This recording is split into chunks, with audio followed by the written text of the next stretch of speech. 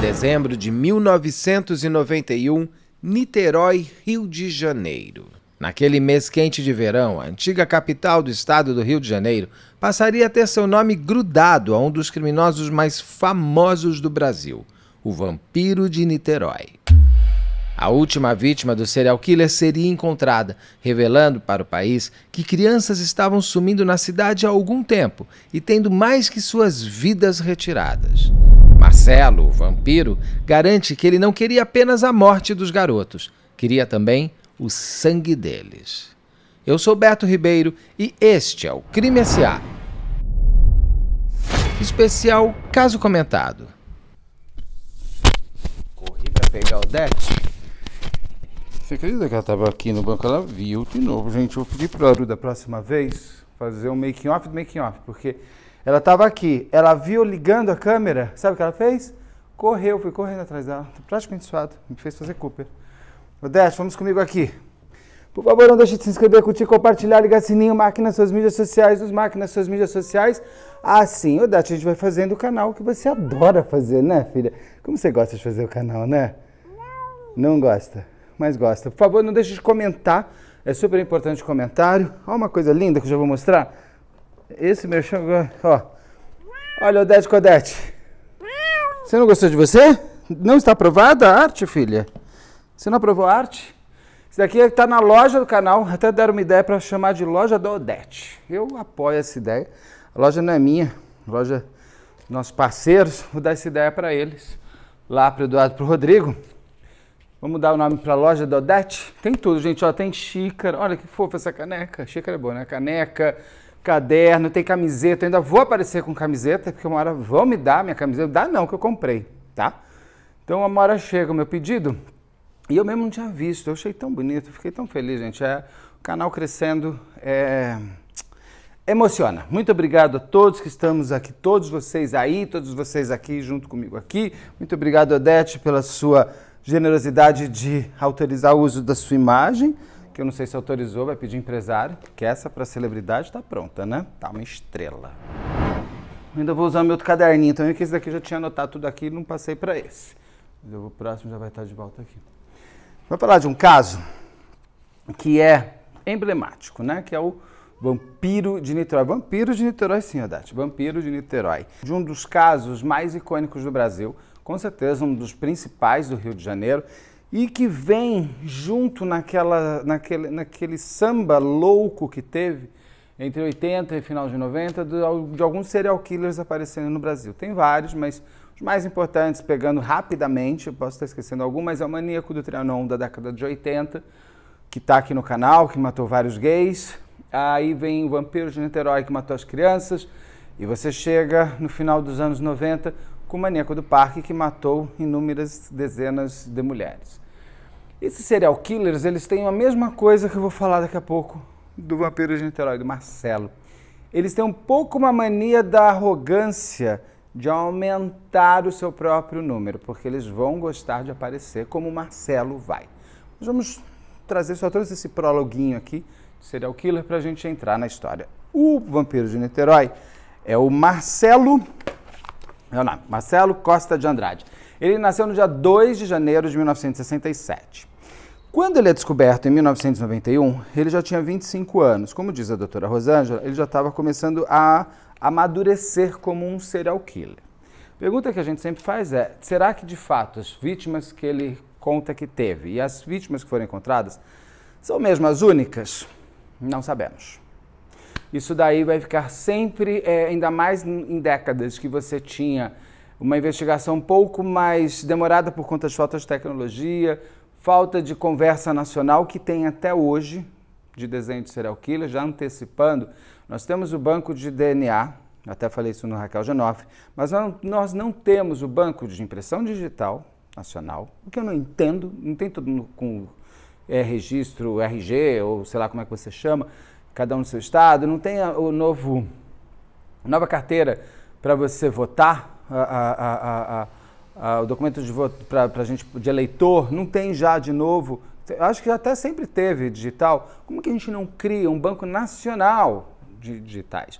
Assim como a gente não tem um banco nacional de assinaturas de serial killers. O que, que eu quero dizer com isso? Uma pessoa pode estar matando agora no Acre, deu uma descidinha, passou ali por Brasília, olhou e falou: hum, vou, dar, vou matar um pouquinho aqui, vem para São Paulo, mata em algumas cidades distantes, vai para o Rio Grande do Sul e vai. Só que você não tem uma forma de, a, por exemplo, o, o, os laudos do legista, que, que é, os laudos dos peritos e até mesmo a, a, uma, uma, análise forense para ver. Isso é uma assinatura de um serial killer. Bota no banco de dados que começa a dar match. Você vai descobrir, às vezes, que a gente tem serial killers agindo pelo Brasil inteiro, ou até mesmo do estado de São Paulo. Eu vou fazer alguns casos aqui é, em breve, mas dois que eu já elenco, que eu já passei com uma entrevista, que é o serial killer Soroca, ele só foi descoberto que ele estava agindo em Santa Catarina, no Paraná, porque o delegado teve a rapidez de raciocínio de olhar e falar: deixa eu dar uma procurada para olhar. E ele acha uma matéria pelo Google, num jornal local de Santa Catarina, contando do caso de um, de um rapaz que tinha morrido com a mesma assinatura que ele estava encontrando os corpos em Curitiba. Quem faz esse match é o delegado, não é a, a inteligência. Imagina só, esse delegado poderia ter prendido Soroca e ele ter sido é, é, julgado somente pelos casos de Curitiba. E ele também será julgado agora pelo caso do, de Santa Catarina. Ou seja, se não fosse o delegado, teria tido um, um caso de homicídio lá, nunca é, é, é encontrado seu autor. Tem o maníaco, eu nunca sei se é maníaco, vou falar, chamar maníaco da bicicleta, porque eu nunca sei se é Rio Claro ou Rio Pires, eu às vezes me confundo o nome da cidade, mas o, o caso é esse cara também que agiu muito forte ali pela, pelo interior de São Paulo, matou, segundo ele, depois de preso, mais de 100 crianças. E foi elucidado por uma delegada também que teve a astúcia de sacar que aquilo lá era a mesma pessoa que estava matando nas cidades vizinhas. Então, se você não tiver um delegado, um investigador, alguém de, de fato ali em campo, sacando isso, a gente vai continuar tendo serial killers agindo a bel prazer e sendo preso às vezes somente por crimes elucidados via DNA ou porque ele arrogantemente quis contar, como é o caso do Marcelo, do vampiro de Niterói. Mas vamos conhecer um pouco o caso do Marcelo. Ah, adiantando. Neste comentário vai entrar também uma ótima entrevista que eu fiz com um advogado de defesa dos vampiros de Niterói. Entendam, gente, todo mundo precisa de um advogado. E o caso do vampiro de Niterói precisa muito deste advogado para o vampiro não voltar para as ruas. Mas você vai ver daqui a pouco a entrevista que eu fiz com ele. Assista até o final a entrevista, porque realmente é muito, muito boa. É bom quando você pega um advogado preparado não só para o seu é, cliente, mas para a sociedade. A história de vida do Marcelo é a construção do serial killer. Eu comecei com o advogado dele, vocês vão ver que eu falei há pouco, e ele fala uma frase que eu gostei, não tinha ouvido tão bem, eu vou ainda me aprofundar nisso um dia numa entrevista com a Rosângela ou com o Dr. Guido.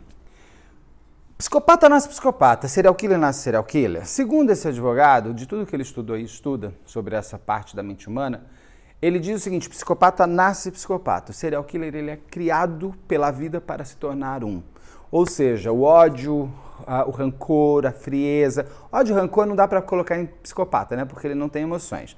Mas principalmente a, a organização mental e de desejo dele pode ter sido criado de acordo com o seu entorno.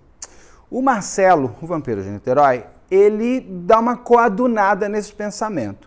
Por quê? Para gente explicar rapidamente. Marcelo nasce, como eu contei, em 2 de janeiro de 1967, na Rocinha, no Rio de Janeiro. Até os 5 anos, esse menino vivia com o pai e com a mãe em uma, uma casa absurdamente violenta, o que não significa que todo mundo que mora numa casa violenta vai se tornar serial killer, né, gente? Porque, ó, infelizmente, o Brasil tem casas muito violentas, as pessoas se tornam pessoas melhores do que os serial killers. Mas o Marcelo, no caso dele, pode ter sido é, é, é, é primordial, pode ter sido o tal do gatilho. Até os 5 anos de idade, ele vive uma vida muito violenta dentro de casa. É possível que ali já tenham começado a ver os primeiros abusos sexuais que, pelos quais ele passou. Isso de fato aconteceu. Aos cinco anos ele muda para o Ceará, é, é, onde ele tem família, acho que a avó materna fica lá, e ele volta para o Rio de Janeiro aos 10 anos, trazido pela mãe. Quando ele volta para casa, em casa ele quase não vai ficar mais, porque ele volta a sofrer todos os abusos pelos quais ele passou, inclusive pelo seu papaizinho nada amado. Ele foge para a rua, ele vê na rua a segurança que ele não vê em casa. E o que, que ele aprendeu logo na rua? Que para ele conseguir comprar alguma coisa, a prostituição seria um caminho mais. Eu detesto essa palavra, fácil, porque eu não acho que seja fácil. Mas talvez para ele tenha sido o único caminho encontrado. Ele era uma criança, menos de. tinha 12 anos, 10, 10 12 anos. Tem esses, essas pessoas horrorosas dispostas a usar o dinheiro. E é um dinheiro curto, né? Um dinheiro, é um dinheiro de pinga. Então o menino, essa criança vira uma diversão de bar e ele se prostitui. O Marcelo, ele acaba sendo amparado, inclusive pelo Estado. Ele é levado para uma casa de onde, onde as crianças são cuidadas. Não se tem relatos se dentro dessa casa ele também sofreu abusos. Mas, de fato, ele fica um tempo, até os 14 anos. Depois dos 14 anos, você não podia ficar. Com 14 anos, ele volta para a rua. Eu acho isso maravilhoso. Você faz uma casa, tem a ver com o que o advogado do Marcelo vai explicar daqui a pouco. Você faz uma casa para amparar menores abandonados. Só que até os 14 anos, gente. 14 anos de um dia, foi gato, vai para a vida. Vai para onde, gente? Tem que ter continuidade isso. Eu não entendo esses, esses, essas coisas estaduais, estatais ou até privadas. O problema não é ser privatizada ou estatizada. O problema é que quem está agindo, quem está liberando a verba, quem está determinando que até essa idade não tem nada. Tenho certeza que as boas assistentes sociais, os bons pedagogos, ficam horrorizados com isso que eu estou contando. Óbvio, eles também devem querer isso que eu estou dizendo.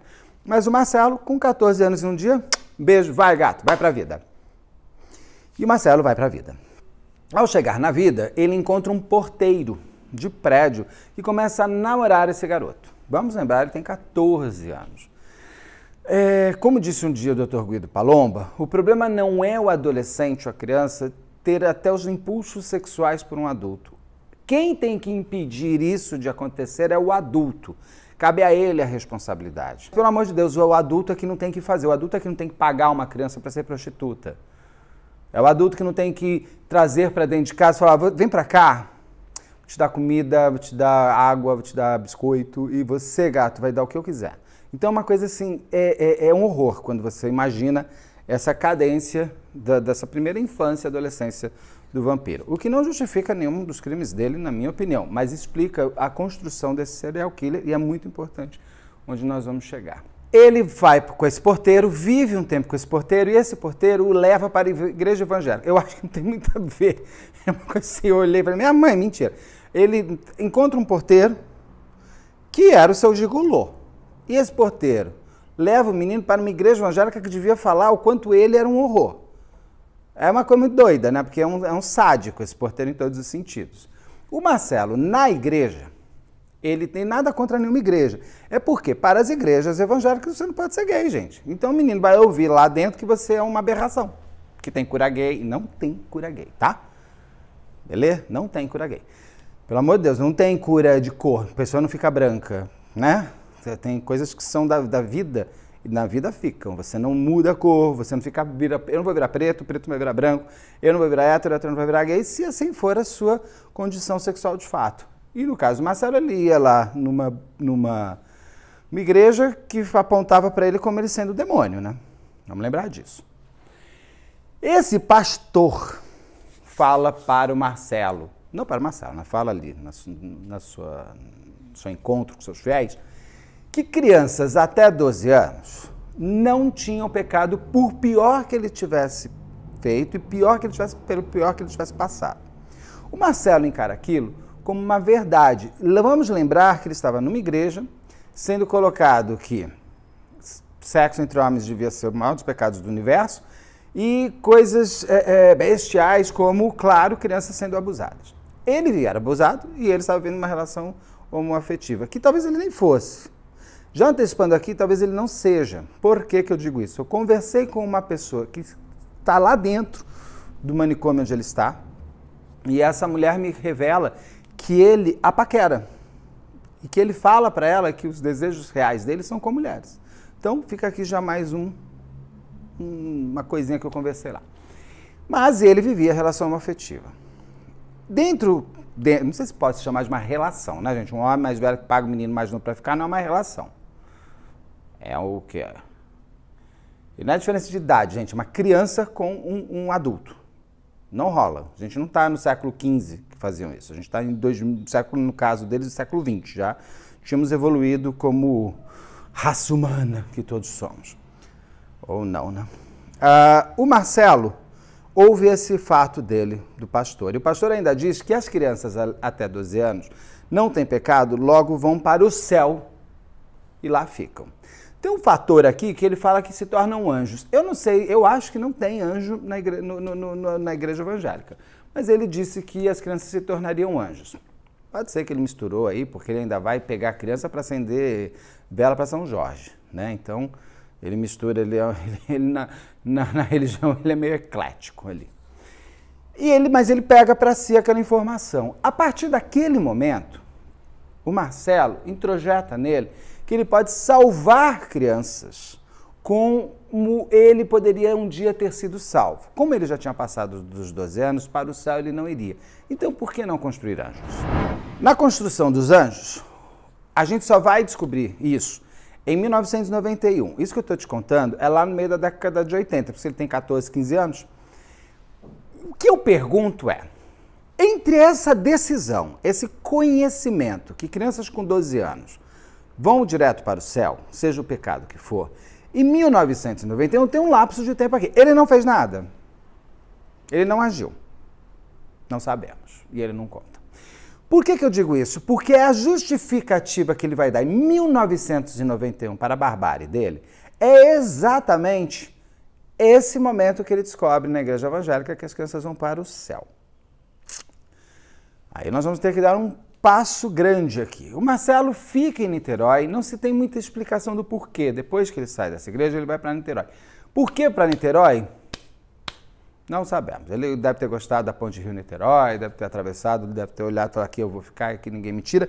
Parece que não é nem Niterói, Niterói, né? É uma cidade mais perto ali, mas botaram Niterói porque Niterói pega mais fácil, uma cidade que a gente sabe mais o que significa. Seria estranho falar vampiro de, sei lá, Jujuju. Então pegam e colocam Vampiros de Niterói. Em 1991, em dezembro de 1991, uh, um menino é encontrado num esgoto com a assinatura que o Marcelo começou a carregar. Enforcado com a sua própria camisa, alguma coisa assim, com, com ele, o Marcelo gostava de guardar os shorts e bermudas de suas vítimas. Esse era o grande é, tesouro dele. Esse era o, o. Como é que fala de serial killer, Aru? Souvenir. Esse era o grande souvenir dele. Ele levava shorts e, e, e, bermudas de algumas vítimas, né? Porque tem números aí que nunca batem.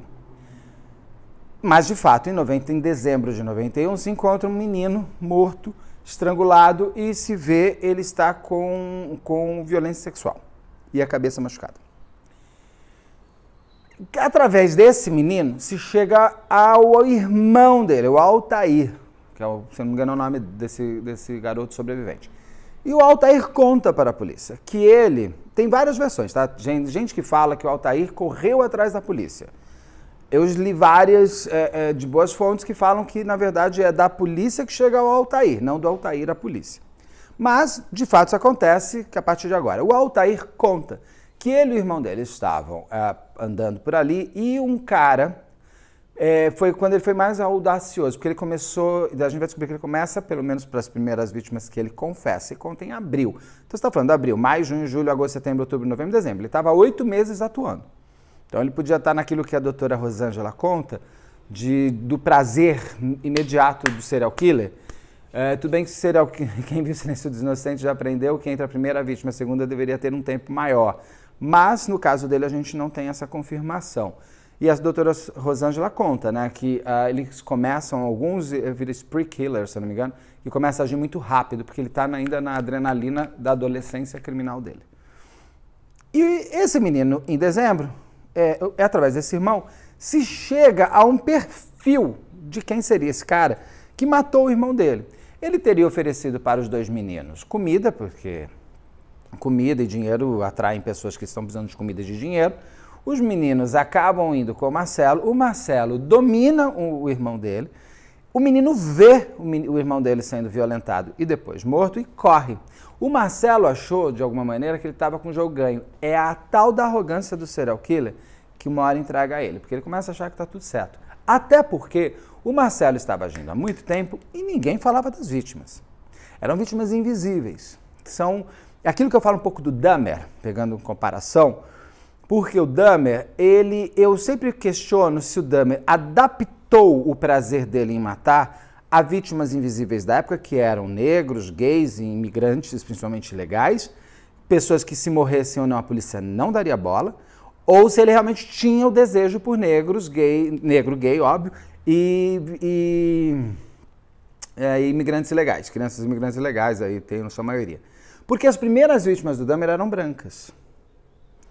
Será que ele é tão inteligente nesse ponto de vou pegar pessoas mais fáceis de eu nunca ser descoberto? Talvez o, o, porque o Marcelo vai questionar isso ao ser pego. E entre chegar dessa vítima ali no, no, no, no riozinho, lá no lugar lá, no esgoto e tal, ao irmão, e do irmão Marcelo foi muito rápido. A polícia chegou muito rápido no Marcelo. E o Marcelo questiona. Vocês demoraram, hein? O Marcelo traz isso que eu estou falando da, da, da, da, vítima invisível. O serial killer de Goiânia, ou maníaco de Goiânia, conforme você queira chamar, ele também fala isso. Ele conta quando ele é pego, que ele, rapidamente, vou fazer um dia esse caso também, que ele sai atirando né, nas noites de Goiânia, matando a esmo com tiro pessoas que estavam no carro. Só que antes de ele entrar nesse negócio desse tal desse spree killer, acho que eu estou falando certo, ele teve testes antes, o serial killer de Goiânia, em matar moradores de rua e garotos de programa. E o próprio cara, serial killer de Goiânia, fala isso para a polícia. Nunca saiu uma nota no jornal.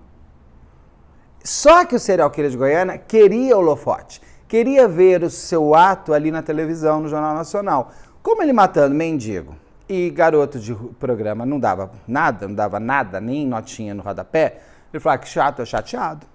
Quero, quero ser celebridade. Quero poder dar fotos, tirar fotos e dar autógrafos. Então ele começa a fazer aquela ação horrorosa de sair matando a esmo. E ele vira o grande terror de Goiânia, ninguém mais sai na rua. Serial killer de Goiânia coaduna com o que o Vampiro de Niterói falou anos antes, porque o, o, o serial killer de Goiânia já é século XXI. Ele fala para a polícia, o Vampiro de Niterói, vocês demoraram muito para chegar. E ele começa a relatar as suas vítimas. A partir deste momento, eu começo a ter muitas dúvidas com relação aos relatos que ele trouxe. Por quê? Porque o Marcelo, o vampiro de Niterói, é fácil de você verificar isso.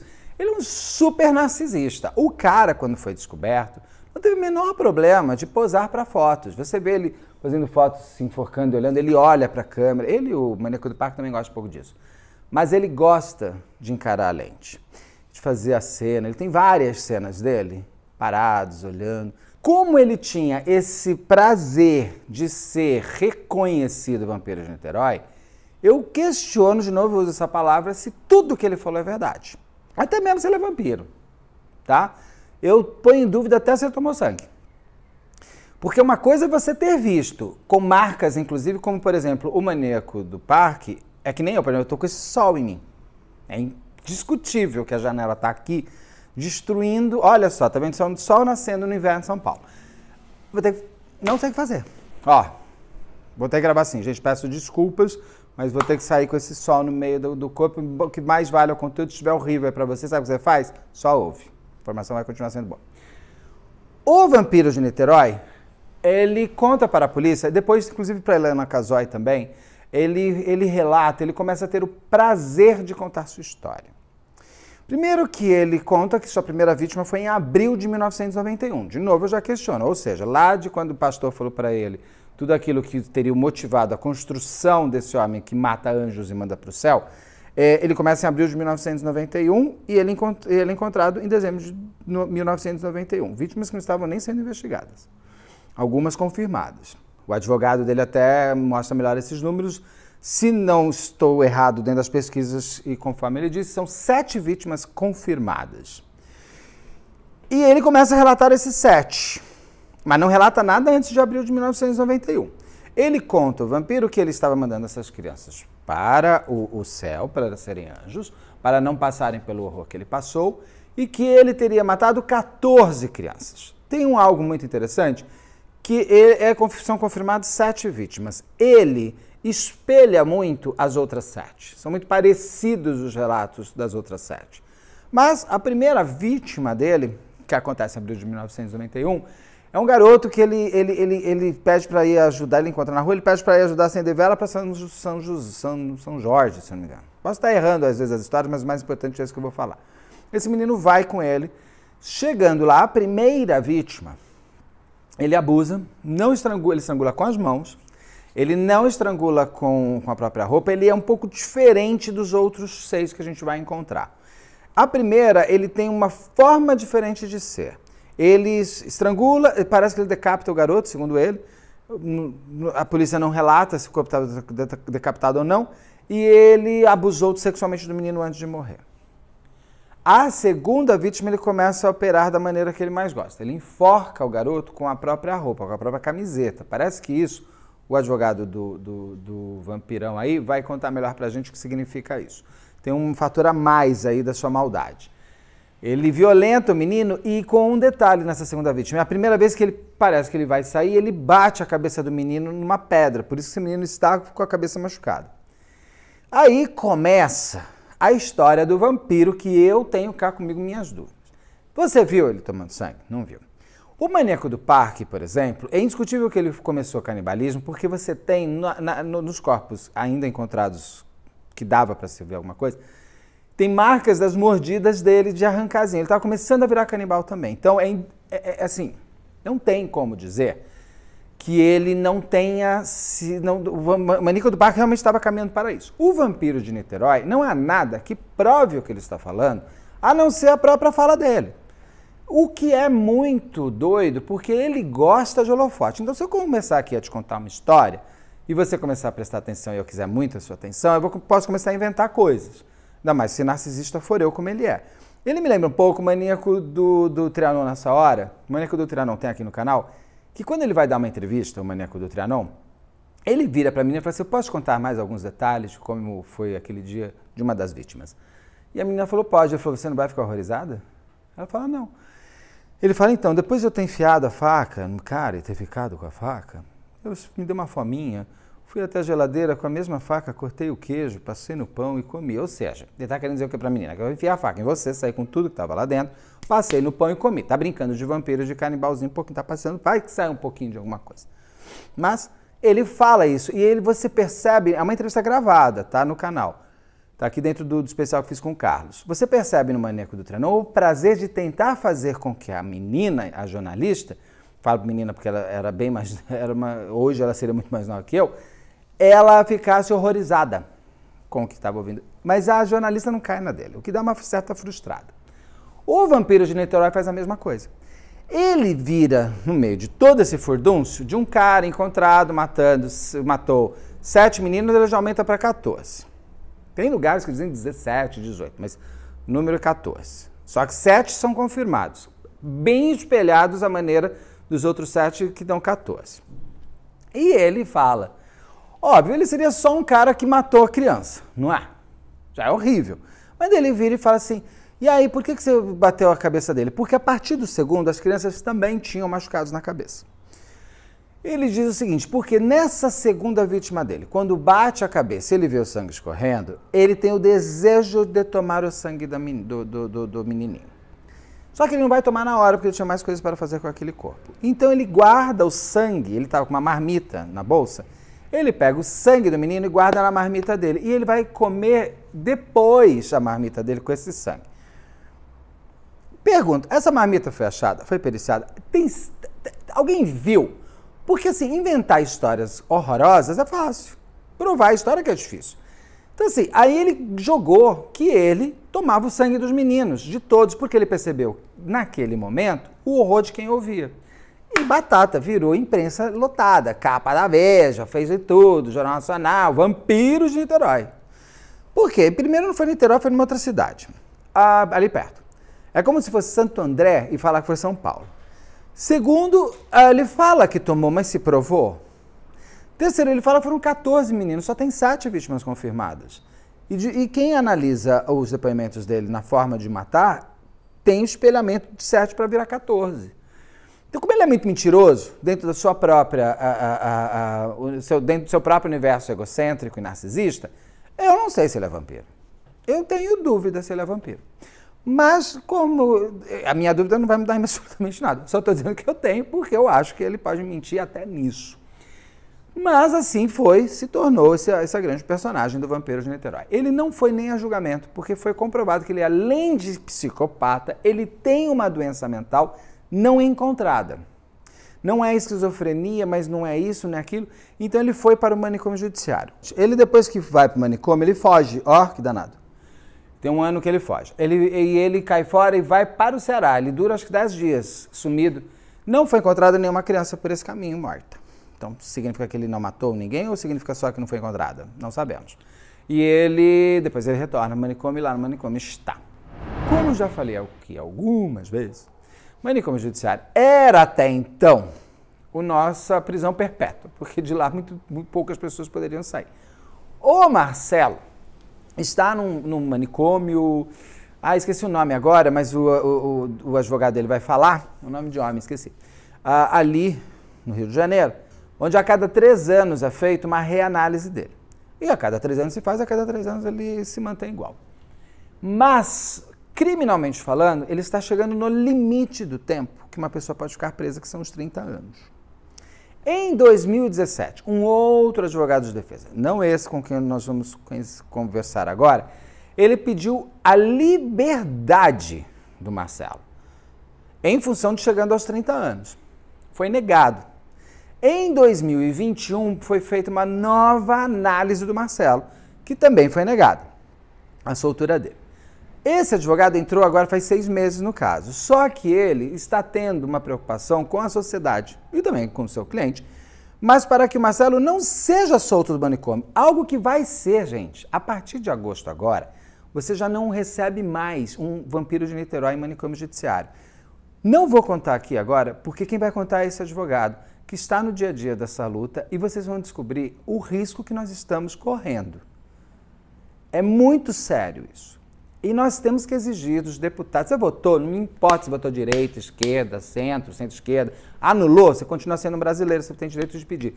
Nós precisamos pedir para o nosso Congresso mudar essa lei. É uma lei idiota do, da, do, da, Constituinte de 1988, colocando uh, uh, o fim dos manicômios. Eu acho até que era por conta da época da ditadura, porque na época você era jogado em manicômio e dane, você tinha Barbacena, você tinha outras formas. Hoje, os manicômios judiciários eles são muito mais humanizados. Já tem a humanização dentro dos manicômios judiciários. Quem vai para manicômio judiciário, gente? Quem matou. Quem é bandido. Você tem uma doença mental, mas você já entrou para o crime. Aí você vai para o manicômio judiciário. É óbvio que eu não estou falando aqui para pegar uma pessoa e ficar dando choque na orelha dele o dia inteiro. Não pode ser uma coisa horrível. Veja o, o Holocausto Brasileiro, a live que eu fiz com o Carlos. Leia o livro Holocausto Brasileiro, da Daniela Arbex. É é aterrorizador. Só que ali dentro do Holocausto, qualquer pessoa poderia ser jogada naquele tempo dentro daqueles. É, é, você era. Por você ser gay, seu pai te mandava para Barbacena. Ou para outros hospícios que tinha, inclusive em São Paulo.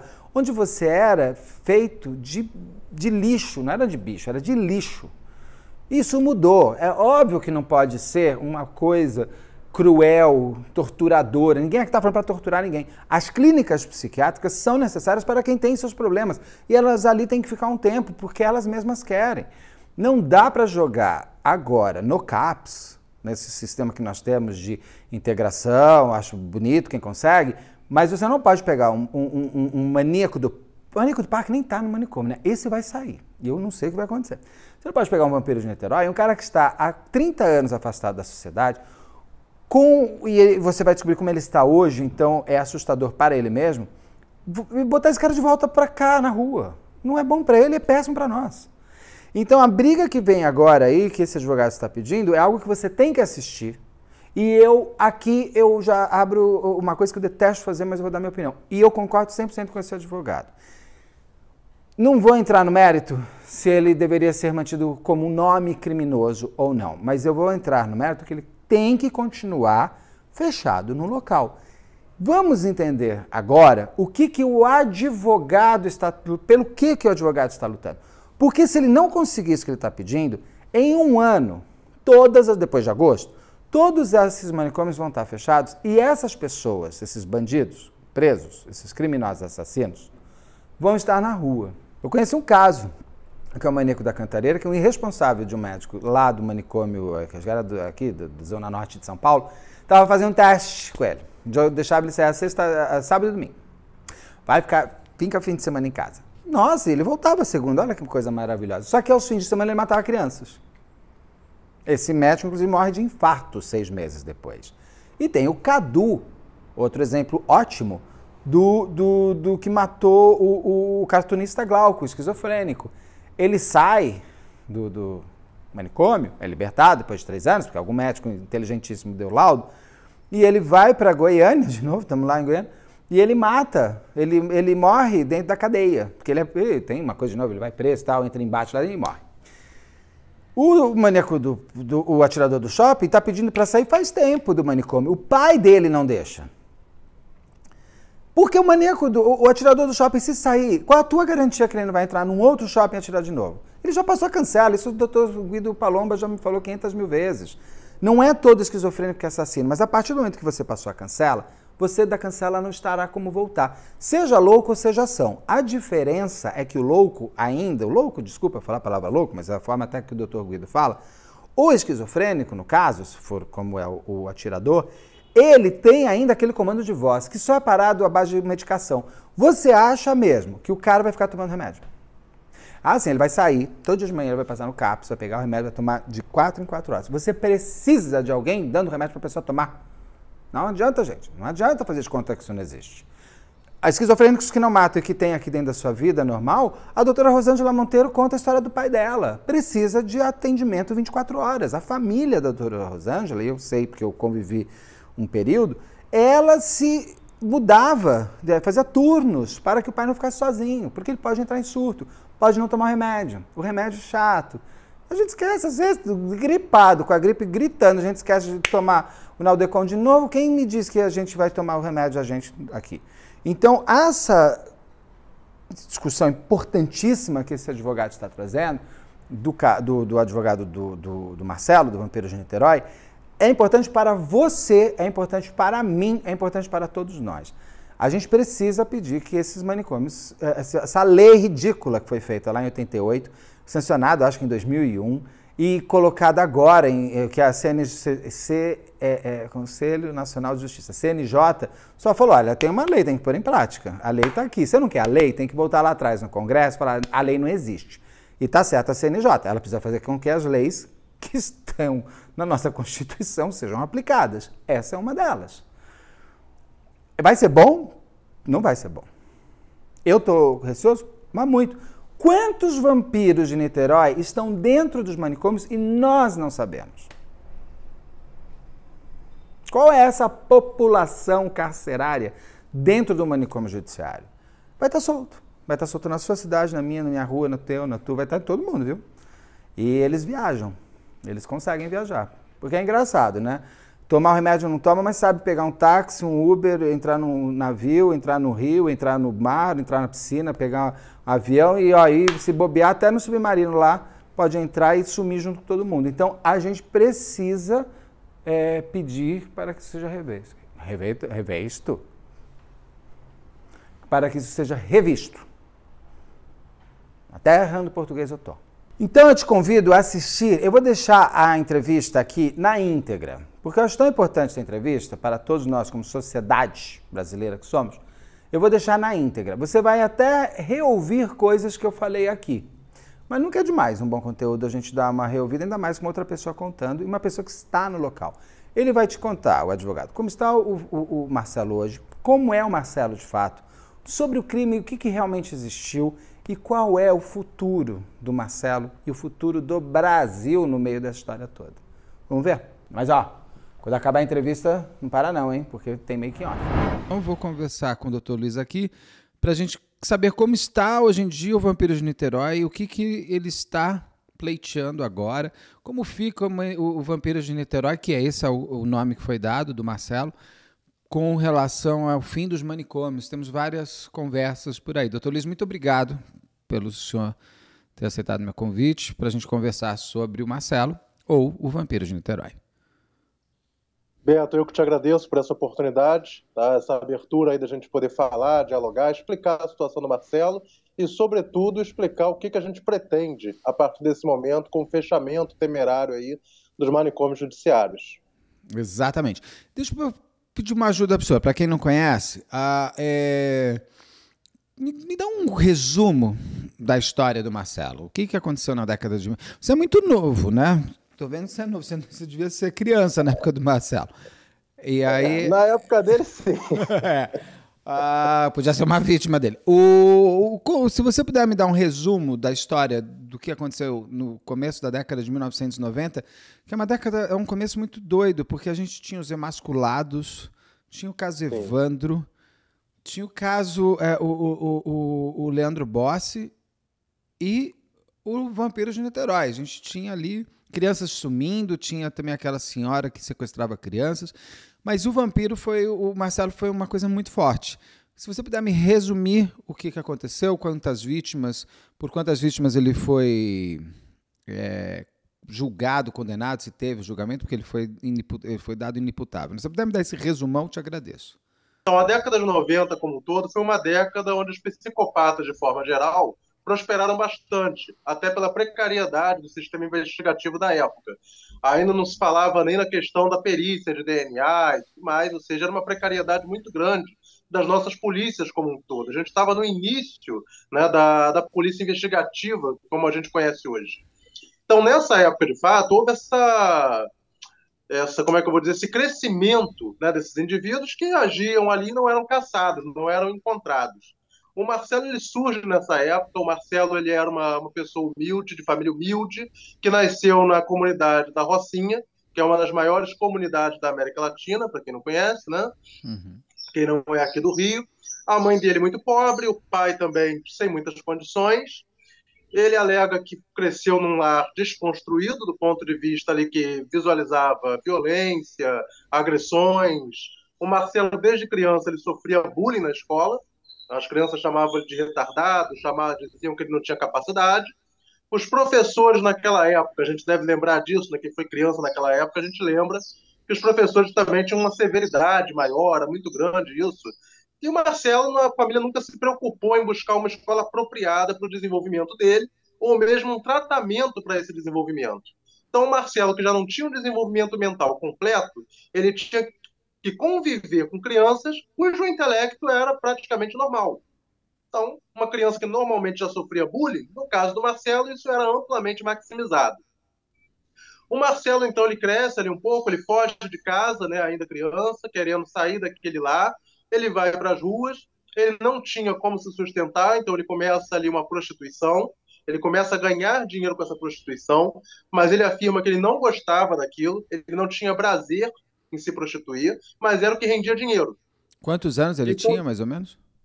Olha, nessa época, em torno de 14 anos aproximadamente, que ele alega. Tá? Então ele sai ali, começa a ganhar dinheiro com essa prostituição, ele vê que é um dinheiro, entre aspas, fácil, né? se mantém ali naquela vida, porque ele coordena a vida dele, ele não deve mais satisfação à família, ele saiu daquele ambiente familiar, na visão dele, desconstruída, né? ele se afasta daquelas zoações, daquelas perversidades ali, segundo ele, e começa a guiar a vida dele por conta própria. Tá? Nesse momento, ele, ele decide também trabalhar de forma ali, como é que eu vou dizer, é, por fora, como panfleteiro, distribuindo panfletos, enfim. E a partir dali ele começa a conhecer essa, esse lado né, da sociedade que ele não diz ele não tinha contato antes. Um lado perverso, um lado cruel, ele retorna para casa, sofre ainda mais agressões ali. Ele alega que sofreu uma agressão sexual quando novo na cidade. E aí surge né, o famoso vampiro de Niterói, surge essa imagem mítica do Marcelo. É, Alega-se aí 13 vítimas, existe aí uma, uma modulação desse número, fala-se entre 13 e 14 vítimas, todos meninos, em idades até 12 anos. Por que 12 anos? Né? O Marcelo ele alega que ele estava num culto, né? não vou nem falar qual é a religião aqui, mas enfim, ele estava num culto, e o líder religioso, na sua manifestação ali, explicando, né? ele fala o seguinte: olha, as crianças até 12 anos elas não passam pelo inferno, elas vão direto para o céu. Obviamente que o líder religioso estava compatível com a crença. Não, não, há o que se contestar quanto a isso. Né? Querendo dizer que a criança é muito pura até os 12 anos, ela não possui pecado. Então ela não passava ali por purgatório, não era condenada. E o Marcelo se preocupava com isso, pelo menos é aquilo que ele conta, na versão dele. Então, doutor, olha, eu só matava até 12 anos, porque se deixasse passar daquela idade, elas iriam pecar e elas seriam condenadas ao inferno. Porque na visão dele é o que aconteceu a ele. Né? Ele se entendia como uma pessoa que passou a pecar, ele passou a ter nojo dele mesmo pela questão da prostituição que ele praticava, e ele começou a julgar que o que acontecia com ele na, na infância era uma coisa corriqueira que acontecia com todas as crianças. Então, o ódio que ele sentia, isso na mentalidade dele, essas crianças também tinham. Então, assim como ele iria para o inferno, essas crianças também iriam. Então, com essa mente já deturbada por problemas mentais e por uma psicopatia é, altamente acentuada, na mente dele ele encontra essa justificativa. Olha, eu estou matando, mas não é por crueldade, tá? Eu estou matando porque eu estou impedindo, na verdade, elas de terem uma condenação eterna. Né? Essa era a visão dele, para a gente ver como é que isso é deturpado. Só que, obviamente, isso também não, não se coaduna com a prática dele. Né? A gente vê isso. Porque os meninos eram todos estrangulados com a própria camisa. O que demonstra aí uma vontade também de usar uma peça pessoal dessas crianças para pôr fim a essa vida. Então, assim, isso é um fator que quando a gente pergunta a ele, ele não traz uma explicação. Ah, por que, que você usava a camisa? Ah, doutor, não sei, era o que tinha a mão. Né? Mas havia outros métodos, havia o estrangulamento com as próprias mãos, havia outras formas. Sim. Então, por que a própria camisa? É, era uma assinatura muito, muito própria dele, do modus operandi dele. E a forma também, a, como é que eu vou dizer, o troféu que ele guardava, né? Os shorts das crianças eram sempre shorts, né? os crimes sempre muito bárbaros. Então, assim, o primeiro A violência não... sexual. Sim. Ele, ele violentava as crianças. Sim, violentava. Havia essa violência sexual, que aí a gente. Aí é uma interpretação nossa, tá? É uma interpretação nossa, ele não, não trata sobre isso, mas é a nossa interpretação que na mente dele, como ele sofreu essa violação sexual lá atrás, ele enxergou naquele monstro, queria mandar uma mensagem para aquele monstro da seguinte forma: olha, eu sou pior do que você. Você me transformou no que eu sou, mas eu posso ser muito pior do que aquilo que você era. Então a vontade dele de superar em maldade aquele ser que causou tudo aquilo a ele. Tá? Mas isso aí é uma interpretação meramente nossa. Não há uma não há uma, uma explicação dele, entendeu? Aí, só que eu te cortei, o que, que você estava falando? Ah, então termina o que você ia falar, até porque depois me, me volta para o começo, você estava me falando a primeira vítima ou alguma vítima que você ia falar. Então, a primeira vítima, não houve essa questão de beber sangue. Ele violou a, a criança sexualmente, né, ele mata ali e pronto, acaba por ali. Na segunda vítima, até de uma forma acidental, quando ele mata, a criança bate com a cabeça, escorre o sangue e por uma questão ali de momento, né, ele decide lamber aquele sangue. A partir desse momento, ele passou a gostar da situação. Né? Ele diz que ele gostou, que ele se sentiu bem com aquilo. E então, a partir da segunda vítima para lá, ele já pegava a pedra, batia na cabeça, tirava o sangue, extraía e colocava na marmita dele, depois ele tomava.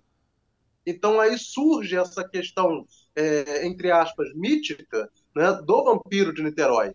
E de uma forma geral, né, a sociedade como um todo, ela olha o psicopata e ela tem o psicopata na mentalidade popular como aquele indivíduo charmoso, né? O psicopata ele desperta no nosso subconsciente, talvez, aquela imagem mítica do próprio vampiro cinematográfico, né? Que rouba vidas, que extrai o sangue, que, né, é eterno, é um ser inteligente que arma ciladas, enfim. Então, o Marcelo ele se personifica nesse personagem e é personificado também dentro desse personagem pela própria sociedade, que passa a colocar ele até como inteligência, na verdade, acima do que ele de fato possui. Ele era assim uma pessoa que conseguia tramar ali é, emboscadas para as crianças, sim, porque o que, que ele chegava e falava? Olha, você me ajuda aqui, eu preciso da sua ajuda para acender uma vela ali para São Jorge, ou para qualquer outro santo, enfim. Eu te dou aqui uns cruzeiros e você vai lá me ajudar. E nisso levava a criança para zonas ermas, né, desertas, e ali ele praticava os seus atos. Então, quer dizer, mas isso não demanda um alto índice de inteligência. Ele estava lidando com crianças inocentes, puras, né, que queriam ali fazer um ganho de dinheiro para talvez levar para casa, é, comprar Sim. um doce, enfim. E, então, se você, quem conversa com o Marcelo, vê isso. Tá? Ele não é um psicopata clássico, graduado aí com uma inteligência acima da média, capaz de fazer grandes pirotecnias intelectuais. Ele não, é o Hannibal, ele não é o Hannibal Lecter, ele não é o Dexter. Mas não. ele conseguiu viver bastante tempo matando as crianças. É, você me falou que ele tem um retardo. O que, que ele tem de problema mental é, diagnosticado? Então, vamos lá. O problema mental dele é uma questão muito complexa, é uma zona muito nebulosa. Porque os próprios psiquiatras que tratam dele não fecham um diagnóstico é, claro. Tá? De início se pensou aí numa, numa esquizofrenia, porque ele alegava ouvir vozes, mas essa esquizofrenia ela não ficou de fato comprovada. Agora, o que tem de fato ali é um transtorno psicossocial, é, antissocial, de natureza antissocial, que é essa psicopatia, isso aí é muito claro. Mas essa psicopatia ela não está sozinha. Ela coabita com alguma outra doença mental ali que incapacita ele. Agora, o que de fato, isso não tem diagnóstico fechado na condição do Marcelo. Então, assim, a mente dele é uma bomba atômica. A gente não, não consegue entender de fato o que tem ali dentro. Como é que a gente fica sabendo que ele tomava o sangue das crianças na marmita dele? É ele que conta?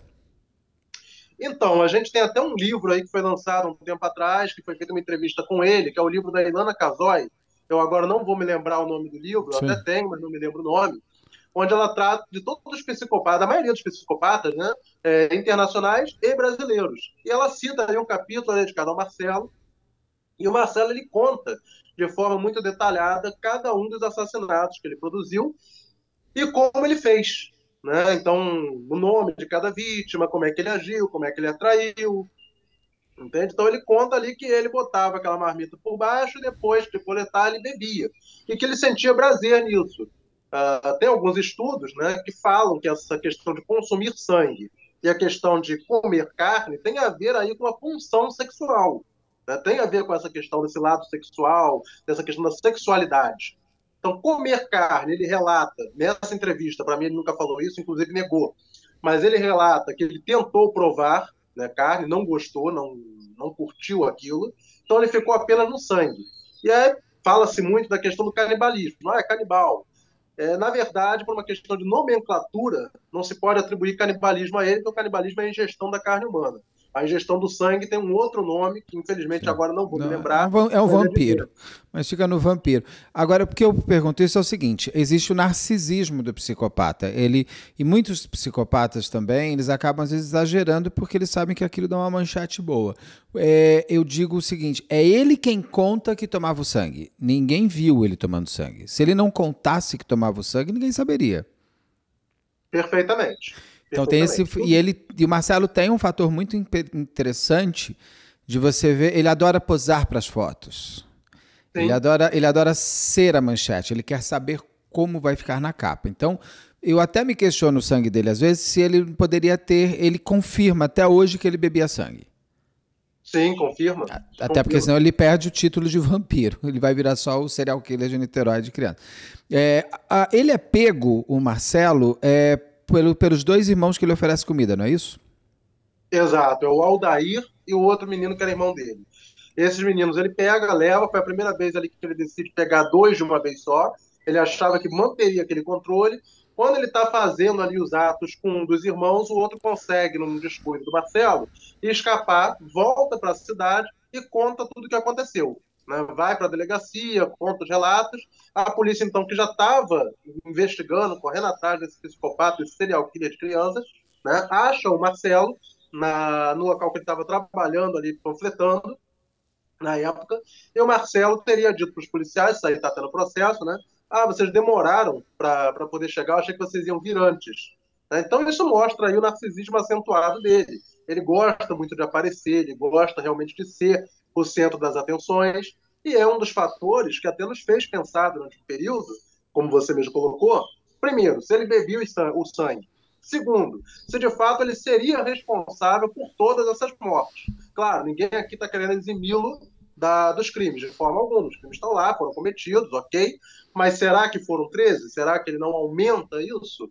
Porque até o próprio modus operandi dele, contado detalhadamente nessa entrevista que ele deu a Ilana Casoy, quem for parar para ler vai ver que o de um é, igual, é praticamente igual ao outro, mudando muito pouca coisa.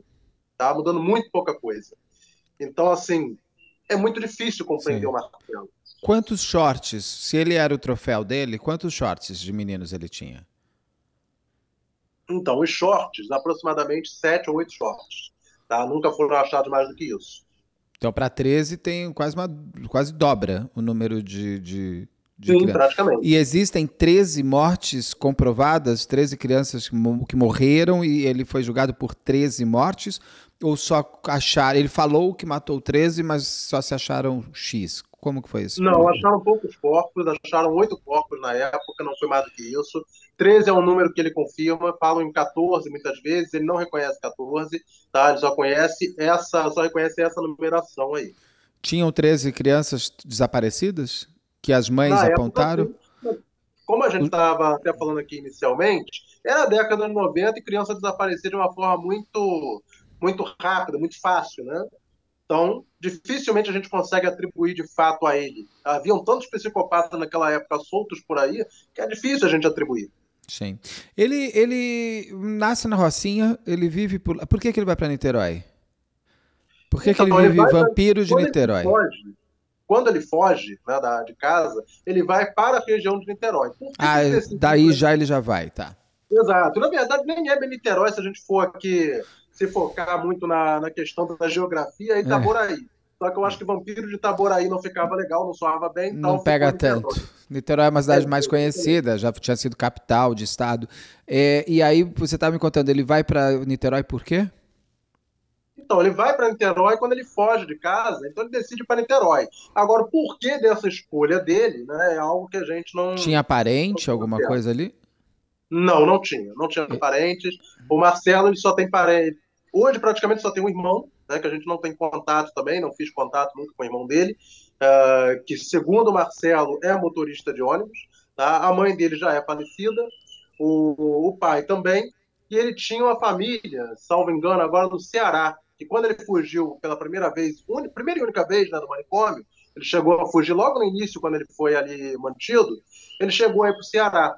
Aí ficou quatro dias foragido, alguém reconheceu ele lá e falaram, né? Entregaram, ligaram para o disco de denúncia, que na época ele foi recapturado, trazido de volta para o Henrique Roxo, onde ele, Ele- permanece até hoje. Ele foge logo, ele é preso em 93, não é isso? 93 e, salvo engano, foi ali por 96. 96 Ele ou 97 a fuga. E ele mate- eh, sabe se ele conta ou descobriram, ele teve alguma vítima nesse percurso entre Rio de Janeiro? Porque ele deve Não ter ido teve. de carona, Sim. a pé, porque como é que ele não tinha dinheiro, não tinha nada, não foi para o aeroporto. Não teve, não tem relatos de vítima, não tem relato de nenhuma criança desaparecida nesse trajeto. Ah, ele próprio não fala sobre isso, ele só fala que fugiu para ver a família, para ir para lá, porque ele queria é, reconstruir a vida dele.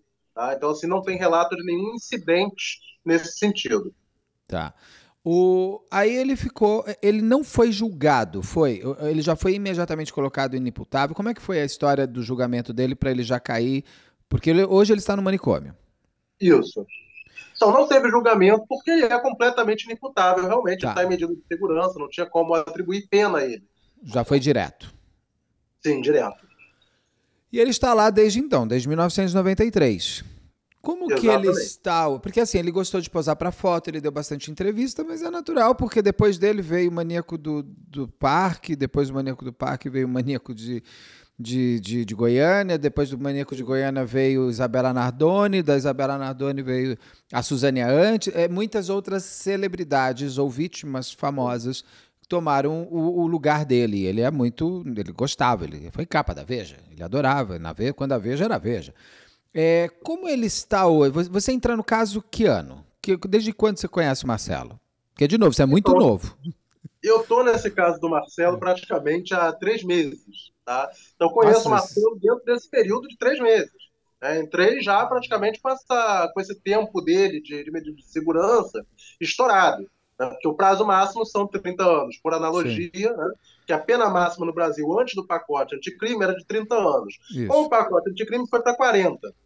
Mas como o Marcelo já respondia, ou seja, é anterior ao pacote anticrime, ele não pega essa mudança. Então o máximo para ele seria 30 anos. Então, por analogia, ele já deveria sair. E aí é essa saída que as pessoas confundem muito. Ah, o advogado entrou com pedido de liberdade para ele. Meu Deus, quer botar esse psicopata na rua. Não. Liberdade, aqui que a gente fala, um termo técnico. Ou seja, sair dessa questão de estar cumprindo ali uma medida de segurança, de, de estar custodiado pelo Estado por questões criminais. Mas o que a gente pede desde o início é que ele permaneça custodiado, só que de forma civil. Né? Ou seja, que ele vá para a residência terapêutica. E a residência terapêutica, que a gente vai conversar aqui mais à frente, ela é muito diferente do sistema de CAPs, que o Estado quer mandar todo esse pessoal né, sem, sem capacidade de receber. A gente já deixa esse prólogo aqui, eu só queria entender alguns pontos antes. Você entra no caso por quê? Se essa é uma pergunta indiscreta, você não precisa responder, mas eu preciso te fazer. Por que, que você virou advogado do Marcelo? Então, vamos lá. Eu fui procurado, na verdade, por uma pessoa que se colocou, entre aspas, aí, como um benfeitor dele, né? Então me procurou, falou: olha, doutor, eu queria que o senhor visse o caso do Marcelo Costa, é, desse uma olhada para mim e dissesse como é que a gente pode fazer para melhorar alguma coisa a vida dele. E eu realmente desconhecia né, o caso do vampiro de Niterói, joguei na internet, vi. É, é impossível para um criminalista, pelo menos eu acredito, né, para a maioria dos meus colegas, é impossível a gente ver um caso desses e como todo mundo na sociedade, a, o perfil do psicopata é aquele perfil que nos interessa de investigar, de correr atrás, de tentar entender minimamente do ponto de vista profissional nosso. Sim. Então, eu falei, nossa, é um caso interessante para se trabalhar, é um caso que eu tenho interesse de pesquisar, estudar, conhecer. Né? E ainda mais sendo pago, a gente prefere, obviamente. Ou seja, é, não é pro bono. Não é pro bono, não é pro, não faria, tá? Não faria pro bono. Inclusive é uma coisa que eu até cobrei acima do valor que a gente costuma cobrar, até pela.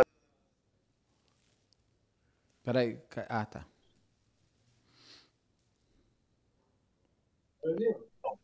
Tá, voltou, voltou. Voltou. Então, quer dizer, não é pro bono. Eu cobrei até acima da média que efetivamente cobramos no escritório para casa dessa forma, até por se tratar do que era. Né? Então, assim, eu olhei aquilo e minha primeira, meu primeiro impacto foi, antes de responder né, se aceitava ou não, é, foi o seguinte: olha, como é que vai ser isso? Como é que é defender uma pessoa dessas? Eu consigo colocar em liberdade? E mais do que eu consigo colocar em liberdade, é eu devo colocar em liberdade? É a pergunta que a gente se faz. Obviamente, como criminalista, nós não defendemos o crime, nós defendemos o direito da pessoa. E pela Constituição nossa, 30 anos é o máximo que ele pode passar ali. Então, olhei aquilo e falei, bom, tenho que encontrar um meio termo aqui. Ajudar o rapaz, né, obviamente, fazer alguma melhoria para ele, sem, contudo, prejudicar o lado da sociedade, porque a gente não está tratando aqui de crimes comuns do dia a dia, como é um tráfico, como é um homicídio esporádico, em que o indivíduo ele pode cumprir pena, se ressocializa, volta para a sociedade, trabalha, estuda, se reforma, e não vai acontecer. A gente está tratando de uma pessoa que não controla sua própria vontade, ele não sabe o que ele está fazendo. Né? Então, a ressocialização ali, a chance disso é zero. Então, eu falei: olha, eu vou, vou assumir o caso, mas eu te adianto que liberdade plena, tá? De chegar, cuidar da vida dele sozinho, isso não vai acontecer. Mas a gente pode tentar uma melhoria sim, para que ele vá para um, uma residência terapêutica, para que ele seja cuidado em algum lugar. Se você mesmo quiser né, tentar ser uma pessoa que responda por ele na rua. Entende? Eu? Eu não vou responder por ele na rua. Não, não, você não. eu não vou. O vampiro comigo não vai ter, não vai ter, eu não vou ter espaço para ele. Mas então é interessante. O que, que você quer, na verdade, é tirar, ou ver se eu estou correto para ver se as pessoas vão entender. Você Sim. quer tirar agora, ele já não é mais um criminoso, porque o crime ele já cumpriu. A pena ele cumpriu, mas ele precisa Sim. ser mantido em tratamento, é isso? Exatamente. Aí, como homem civil, como homem já não é mais um crime. E o que que muda? Ele mudaria de lugar? Ele se mantém no manicômio? Ele, o, o que que muda? Ele sai do manicômio? Não, então, muda porque ele sai do manicômio judiciário. Contudo, ele vai para o que a gente chama de SRT, que é o Serviço de Residência Terapêutica. O que, que é esse Serviço de Residência Terapêutica? É como se fosse aí, vamos dizer, mal comparando aqui, uma casa de repouso, um asilo, enfim, que o Estado mantém e que recebe ali egressos, tá, que estão há dois anos ou mais dentro do sistema é, de manicômio judiciário e que não possuem mais vínculo familiar ou cujo vínculo familiar está intensamente prejudicado. Dentro desse programa, ele tem atendimento com profissionais 24 horas de acompanhamento. Então ele não é uma pessoa que ele vai sair, vai conviver com outros. Ele não vai estar dentro de uma, de uma ala psiquiátrica, por exemplo, junto com a avó de ninguém, junto com o pai de ninguém que nunca cometeu um crime. Ele vai estar inserido em tratamento, não mais em cumprimento de medida de segurança, mas em tratamento, junto com outras pessoas que também cometeram ilícitos penais, por força dessa questão é, patológica dessa Ou patologia. seja, deixa de chamar manicômio judiciário e passa a se chamar casa de, de, de residência, chutando, terapêutica. residência terapêutica para e, ele vai viver com criminosos da mesmo também que estão na mesma situação que ele. Mas ele fica para sempre. Sim, mas aí é um tratamento entendeu? Aí não se pode mais falar que ele está em cumprimento de pena, porque o tratamento, vamos lá, uma pessoa que tem câncer, ela vai se tratar quanto? Ela vai se tratar praticamente eternamente. Uma pessoa com problemas psicológicos graves, ela vai fazer um tratamento eterno. Mas a natureza disso não é mais uma natureza de cumprimento de pena. Não é mais uma natureza, ah, como é que eu vou dizer, de é, por conta dos crimes dele, das práticas perpetradas, porque isso já pagou. Mas, ao mesmo tempo, é uma coisa que vai atendê-lo, porque você imagina o seguinte: bota o Marcelo hoje na rua, não tem família, ninguém quer responder. Eu o ia irmão... te perguntar isso. Eu estava entendendo, vocês estavam querendo jogar para um CAPS da vida, para um, trata... um autotratamento. Estou feliz da vida de estar ouvindo o que você está me trazendo aqui. Ah, ah, porque vocês estão olhando. Ele não tem. Alguém visita o Marcelo? Hoje não. Tá? Hoje ele não é visitado, ele foi visitado durante muito tempo pela mãe, quando estava viva, com o falecimento da mãe ninguém mais visita, né? ele tem até aí uma, uma visita ultimamente, mas assim, que vai visitar outra pessoa lá dentro e acaba visitando ele porque se compadece dele. Tá? Então tem ali acesso, tal, conversam, mas é aquela coisa de, ah, me compadeci, eu vou lá falar com ele, ok, pronto. Tá? Mas assim, vínculo mesmo, de vir para a rua e alguém se responsabilizar, hoje não tem. Ele até tinha me pedido para buscar pela família dele, enfim, não consegui contato, não achei ninguém. E acredito, tá? É uma, uma opinião mesmo. Acredito eu que familiar vivo também não vai querer se responsabilizar. Primeiro, por, por receio dele próprio, e segundo, porque você imagina o medo de colocar o cara lá dentro de casa e a própria sociedade lá invadir a casa da pessoa. Não, enfim, e, e desculpa, eu não deixaria meu filho com ele. E eu nem filho é. tenho. Eu não deixaria, minha, eu nem filho tem. Minha, eu não deixaria o Death Rod, minha gata com ele. Não deixaria, porque é uma pessoa que mostrou. É como maníaco. E eu acho muito mais interessante como o Vampiro de Niterói está e o que você está fazendo agora do que o maníaco do parque que vai ser solto daqui a pouco. Porque ele foi Sim. julgado semi-imputado. Ele está numa cadeia normal. Ele vai sair, acho que é 2025, se eu não me engano. E aí, nós vamos ter o maníaco do parque solto novamente, podendo pegar metrô e podendo querer voltar para o parque? A gente não sabe. É, é, da, é, do, é, do, é, do, é da natureza dele. O que você está me trazendo é: você quer tirar já, ele cumpriu a pena, ele já vai cumprir os 30 anos, que é o máximo que a Constituição permite para antes do pacote anticrime. Sim. Do manicômio judiciário, ele segue para uma outra casa onde ele vai se manter em 24 horas de atenção e de lá ele não vai sair. Então você sai de, um, de, um, de uma prisão para uma outra forma de viver preso. Ele, vai, ele não vai sair. Ele não vai sair para a rua, que é o que mais preocupa as pessoas. E o que eu acho Sim, muito interessante que você está trazendo. Tá? Vai mudar a nomenclatura, porém a essência é a mesma. Ele vai permanecer em tratamento. Por quê? Uma preocupação do Marcelo hoje, que ele mesmo fala comigo, ah, doutor, se eu tivesse muito dinheiro, eu ia fazer, eu ia querer fazer uma plástica, eu ia querer mudar de rosto, para as pessoas não fazerem maldade comigo lá fora. Porque já falaram comigo que tem muita gente ruim lá fora. Ah, então, assim, jura? Ele era, ele era um dos ruins aqui fora. O, no caso dele, é, quando você. Achei. Eu, eu tô, quando a gente entrou em contato, eu falei, ah, meu Deus, mas ele não vai pedir a liberdade do, do, do vampiro, né? Eu não vou conseguir, a gente vai, eu vou ter que deixar bem clara a minha opinião, porque realmente eu, então estamos de acordo que ele, ele ficando preso, se é na capa, se é aqui ali, não, é, ele não pode viver porque ele matou crianças, gente. Dentro da lógica toda que você trouxe, muito obrigado. A sua análise foi muito, muito importante, muito boa. Para a gente entender, a gente entende a cabeça dele, o que mostra que a cabeça dele é problemática aqui fora. Você me falou de tratamento, ele toma. É, é, é, um tratamento o quê? De remédio? Ele toma remédio? O que, que ele faz? Não, hoje ele não toma mais remédio, isso é até colocado lá na VEP dele, eles informam que ele não está fazendo uso. de nenhum psicofármaco. Por quê? Não, não, faz, não faz efeito, não vai tratar a situação. Tá? Isso foi até uma questão que nós combatemos inicialmente ali, que nós falamos, porque ele deveria ser reavaliado a cada triênio. A cada período de três anos, ele deveria passar por uma análise clínica para ver se cessou ou não aquela periculosidade. Não ia cessar pela questão do quadro dele de psicopatia, que não tem cura. Tá? Mas também não foi feito isso aí. Então, ah, eu decidi, eu sou psiquiatra, decidi que eu não vou fazer a análise. Não é bem assim. A coisa tem que ser feita a cada triênio e seja justificado por que, que continua essa periculosidade. Esse é o ponto. Tá? Tá? Então, assim, uma coisa que eu critiquei muito também lá dentro é que ele nunca foi exposto aos estímulos que ele tinha aqui fora. E aí teve gente que falou assim: ah, doutor, o que, que o senhor quer? Que leve uma criança lá para dentro e bote na frente dele? Claro que não. Mas existem formas da gente fazer isso. Tanto que no processo dele é dito que ele reagia a músicas infantis, como Balão Mágico, as músicas da Xuxa. Então, assim, toca isso e acompanha. Deixa um profissional ali vendo como é que ele vai reagir. Você tem filmes aí, é, internacionais, né, que passam ali crianças, enfim, mostra ali. Vamos ver qual é a reação dele vendo uma criança na televisão. Entendeu? Isso não Vamos foi feito. Se vai despertar algo, se não, entende? Porque a gente tem, ao mesmo tempo que existe essa, esse índice de 98% dele ir para a rua e cometer novamente tudo que ele cometeu, a gente tem o fato de que ele passou quatro dias na rua quando fugiu e não cometeu. Então, assim, claro que eu não vou me segurar nisso, como eu não me segurei. Eu falei, olha, eu não quero essa responsabilidade para mim. Né? Eu não quero isso para mim, porque eu boto o indivíduo lá, tudo bem, sou advogado criminalista, a culpa não é minha, né? É, eu estou defendendo meu cliente, fazendo a minha parte, ele vai para a rua mata alguém. Isso pode acontecer com qualquer outro cliente meu? Pode. Mas até aí, eu olhei e falei, não, cara quis se ressocializar, ele foi pra rua, botei na rua porque eu conversei, ele falou que queria se ressocializar, ele ia mudar de vida, não ia.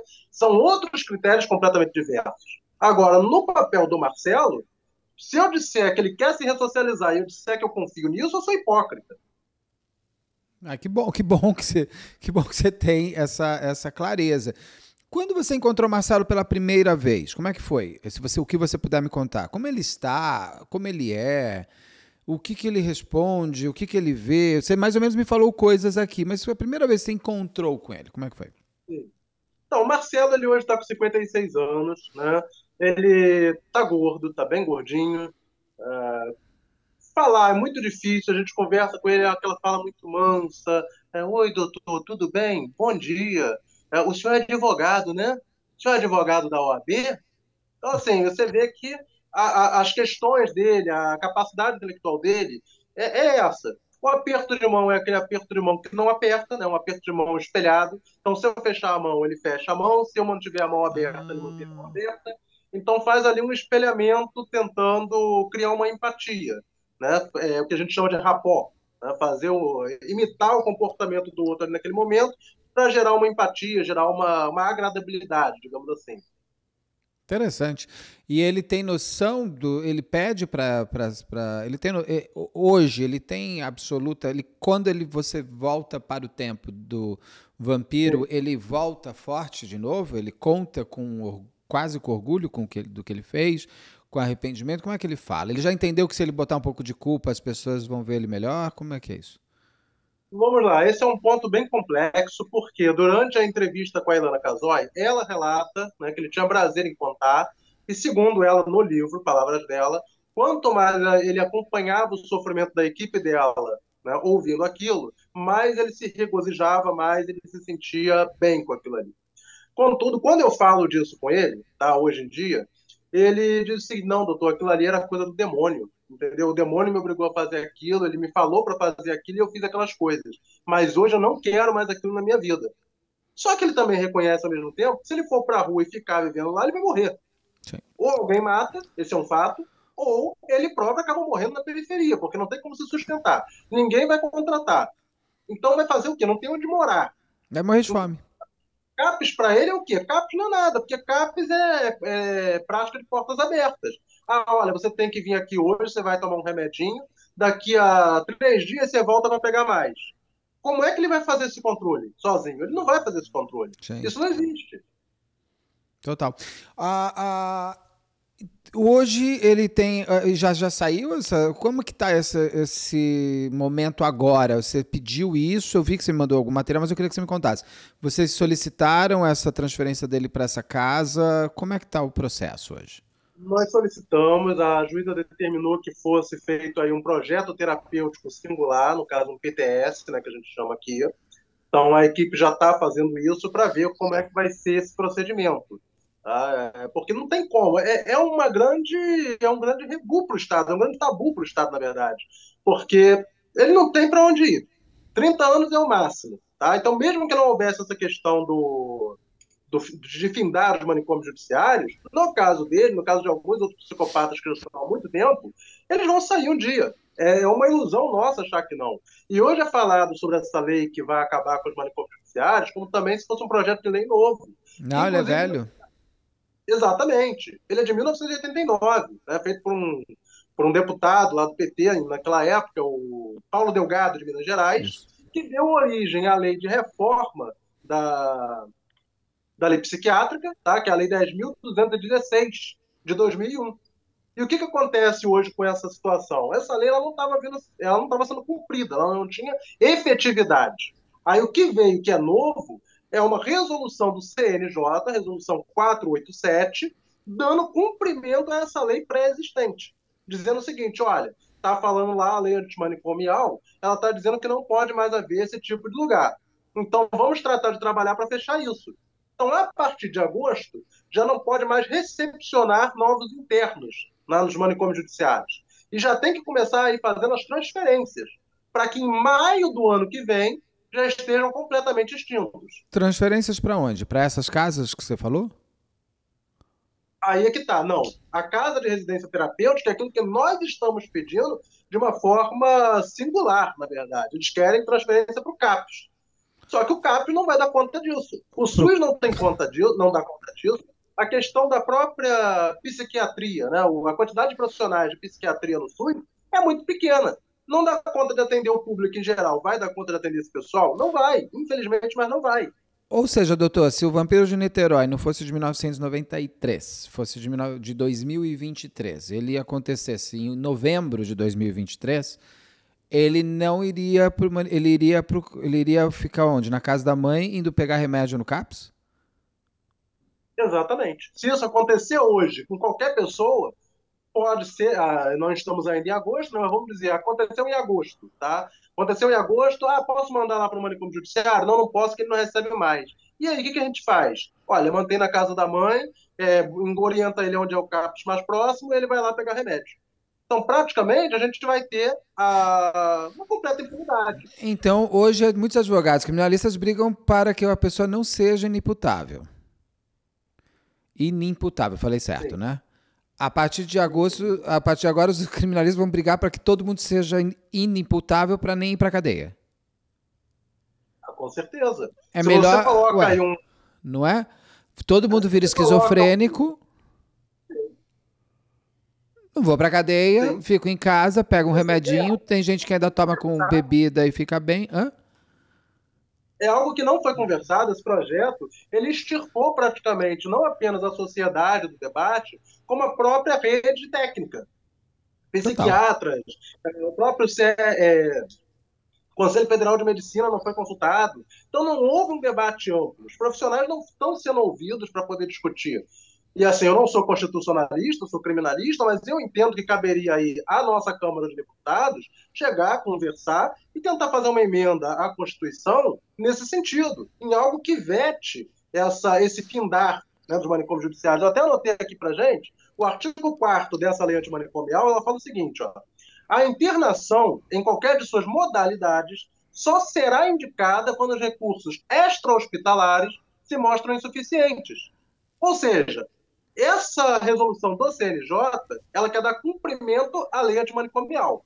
Porém, a própria lei antimanicomial fala que a internação ela será necessária quando os métodos extra-hospitalares não forem suficientes. O CAPES é suficiente? Não é.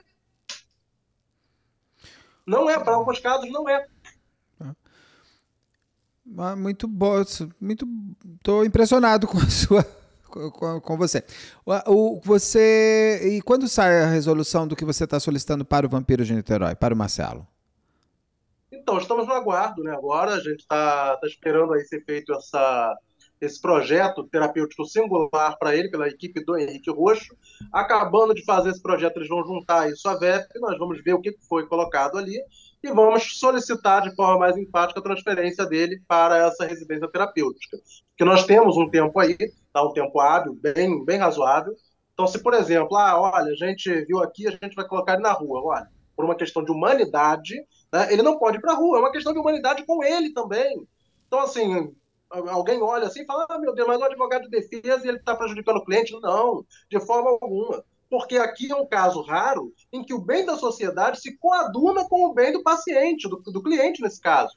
Porque o Marcelo ser jogado na rua de qualquer forma é uma desumanidade, primeiro com ele, e de forma secundária com a sociedade. Claro. Então, esses interesses estão casados aí. Com possíveis vítimas futuras. É porque eu estou pensando aqui de colocar esse caso, tá tão bom isso que a gente está conversando, estava querendo antecipar. Mas você acha que vale a pena esperar sair a decisão para daí você me contar o que aconteceu? Mas eu não sei quanto tempo não, vai demorar, né? Você poderia antecipar, não teria problema. Tá, daí qualquer coisa depois a gente faz um adendo. E, e, sobre o manicômio judiciário, não tem o que fazer. Vai essa, essa lei vai ter a partir de agosto acabou ou está tendo uma movimentação entre vocês, criminalistas e psiquiatras, para que essa para que os deputados, se alguém estiver assistindo isso daqui, gente, vão pedir para os deputados é, faz, se alguém é bom, né? Eu vou voltar, porque um monte de gente assiste. É, se alguém conhecer deputado, estiver assistindo, ou você aí que está assistindo aqui, peça para o seu deputado rever essa lei. É uma questão de ordem pública. Vocês que estão na boca da história, vocês estão se, é, se organizando para tentar evitar que isso aconteça a partir de agosto, que é daqui a pouco? Então, Beto, eu desconheço o movimento, tá? Tanto de criminalista quanto de, de psicólogos ou psiquiatras, no sentido de embarrear isso. Conheço alguns profissionais de psiquiatria e alguns membros aí da, do Conselho Federal de Medicina que são contra isso, mas não estou vendo nenhum movimento organizado para impedir isso aí.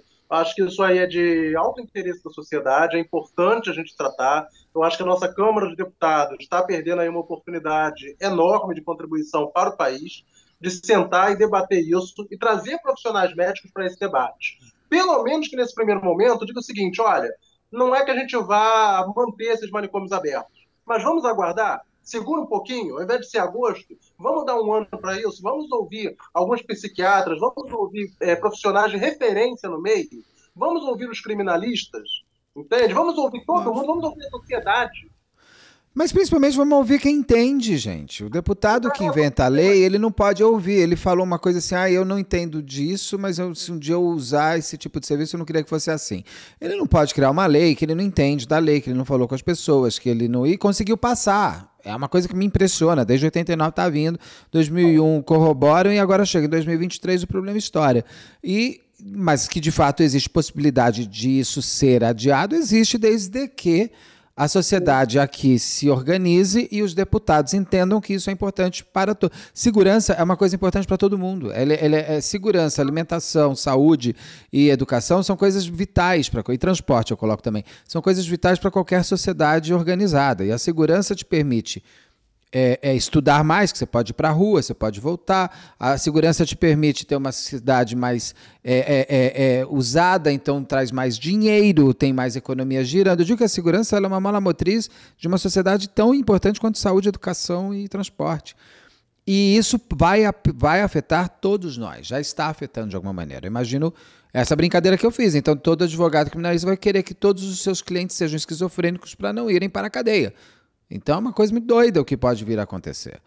É... O grande problema, Beto, é que os nossos legisladores, né, de uma forma assim, quase que geral, infelizmente, eles não fazem um mapa da sua própria ignorância. Você já tem esse assunto aqui, esse assunto aqui pode render voto? Tá bom. É vamos lá e vamos fazer lei. Mas ele não se sente incompetente do ponto de vista intelectual e técnico para produzir aquilo.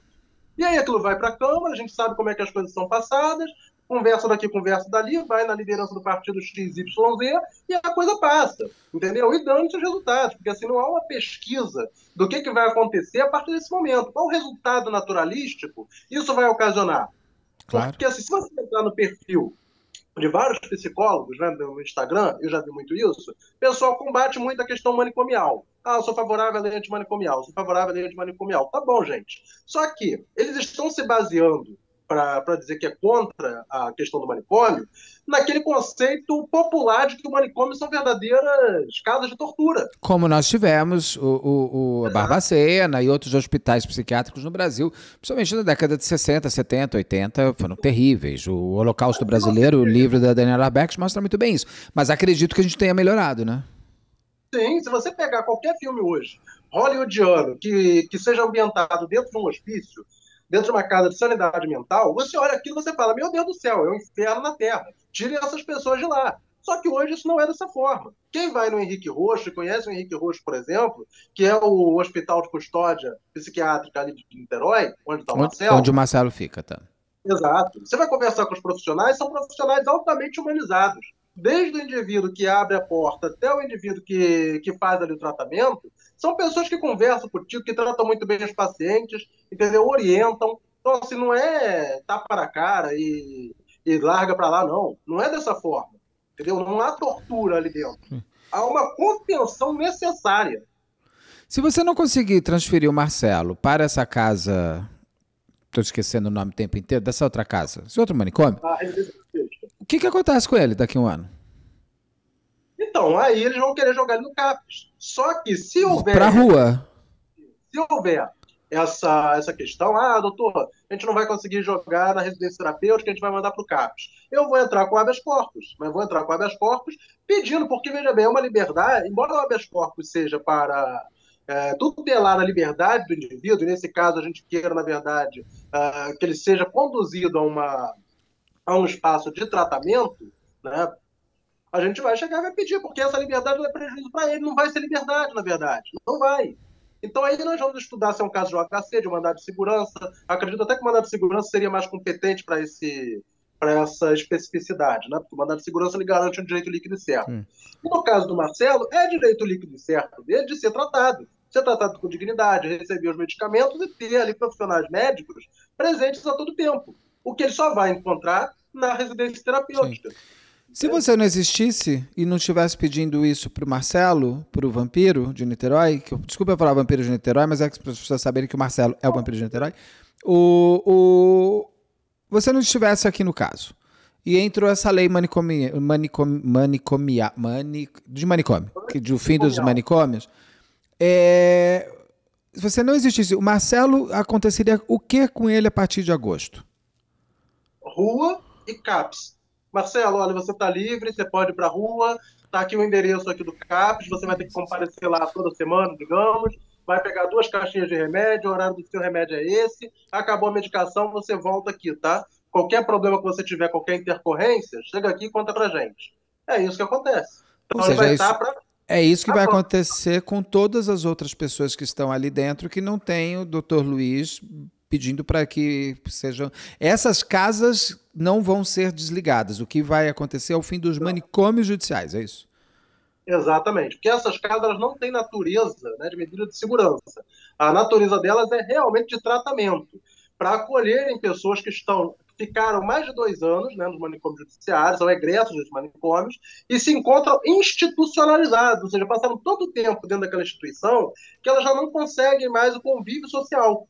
Então, algumas delas são preparadas para reinserção em sociedade, dentro das casas terapêuticas, aquelas que efetivamente podem, alguns podem, não é o caso né, de psicopata, a gente sabe disso. E assim, dentro da psicopatia, a gente ainda tem que diferenciar o seguinte: nem todo psicopata é um serial. A Sim. gente ainda tem isso também para falar. Né? Então, assim, no meu entender, por exemplo, é uma colocação minha. O psicopata nasce psicopata, mas o serial é construído construído pelo meio. Tá, daí é, é, isso eu vou deixar para vocês que entendem disso discutir. Eu gosto de entrevistar para saber por quê. Doutor, é, é meio assustador esse fim mesmo dos manicômios. Muito obrigado. Eu vou, eu vou tentar pôr até o mais rápido possível esta, este programa no ar, antes de agosto, para que as pessoas. Agosto ainda está chegando, mas que a gente consiga evitar. Se você estiver assistindo isso depois de agosto, saiba que o que está acontecendo. Eu espero que a gente tenha conseguido aí no futuro, você que está vendo no futuro, tenha, a gente tenha conseguido reverter isso. Doutor, muito obrigado. Tem mais alguma coisa que o senhor queira me contar? Gostei muito da nossa conversa. Não, não, Beto, apenas isso mesmo. Eu te agradeço muito por essa oportunidade. Agradeço a todos aí os telespectadores do teu canal. Inclusive, sou fã do teu trabalho, da doutora Obrigado. Monteiro. Muito obrigado. Eu estou muito honrado em estar tá, tá fazendo parte aqui hoje. O que, que você achou da entrevista do advogado do vampiro? Comenta aqui, mostra, diz aí, o que, que você acha? Como que a gente tem que fazer para mudar essa lei e evitar com que isso tudo aconteça, para que o vampiro não vá para a rua e junto com ele mais outras milhares de pessoas? Bom, é isso, né? Espero que vocês tenham gostado dessa história terrível do vampiro de Niterói, que eu espero que não volte a acontecer. Agora vai entrar um extra, que é um caso que acabou de acontecer no Rio de Janeiro, agora no começo do ano, no Carnaval. Já fiz uma live com a doutora Rosângela sobre essa história e agora eu vou ouvir porque ele é o advogado, claro, da criminosa. Ele é advogado criminalista, ele não é promotor. Então dá uma, dá uma conferida do que vem por aí e depois, óbvio, tem making off. Casos que você tenha, que você acha que sejam legais, a gente pode fazer também. Inclusive, deixa eu te avisar uma coisa. Tô no caso Patrícia Reis, viu? E vai cair tudo aquilo. Patrícia Reis, me ajuda. sequestrar a mãe. Patrícia Reis é aquela que pôs a mãe numa casa psiquiátrica. Exatamente, é? Petrópolis. Em, Pet... em, Petrópolis.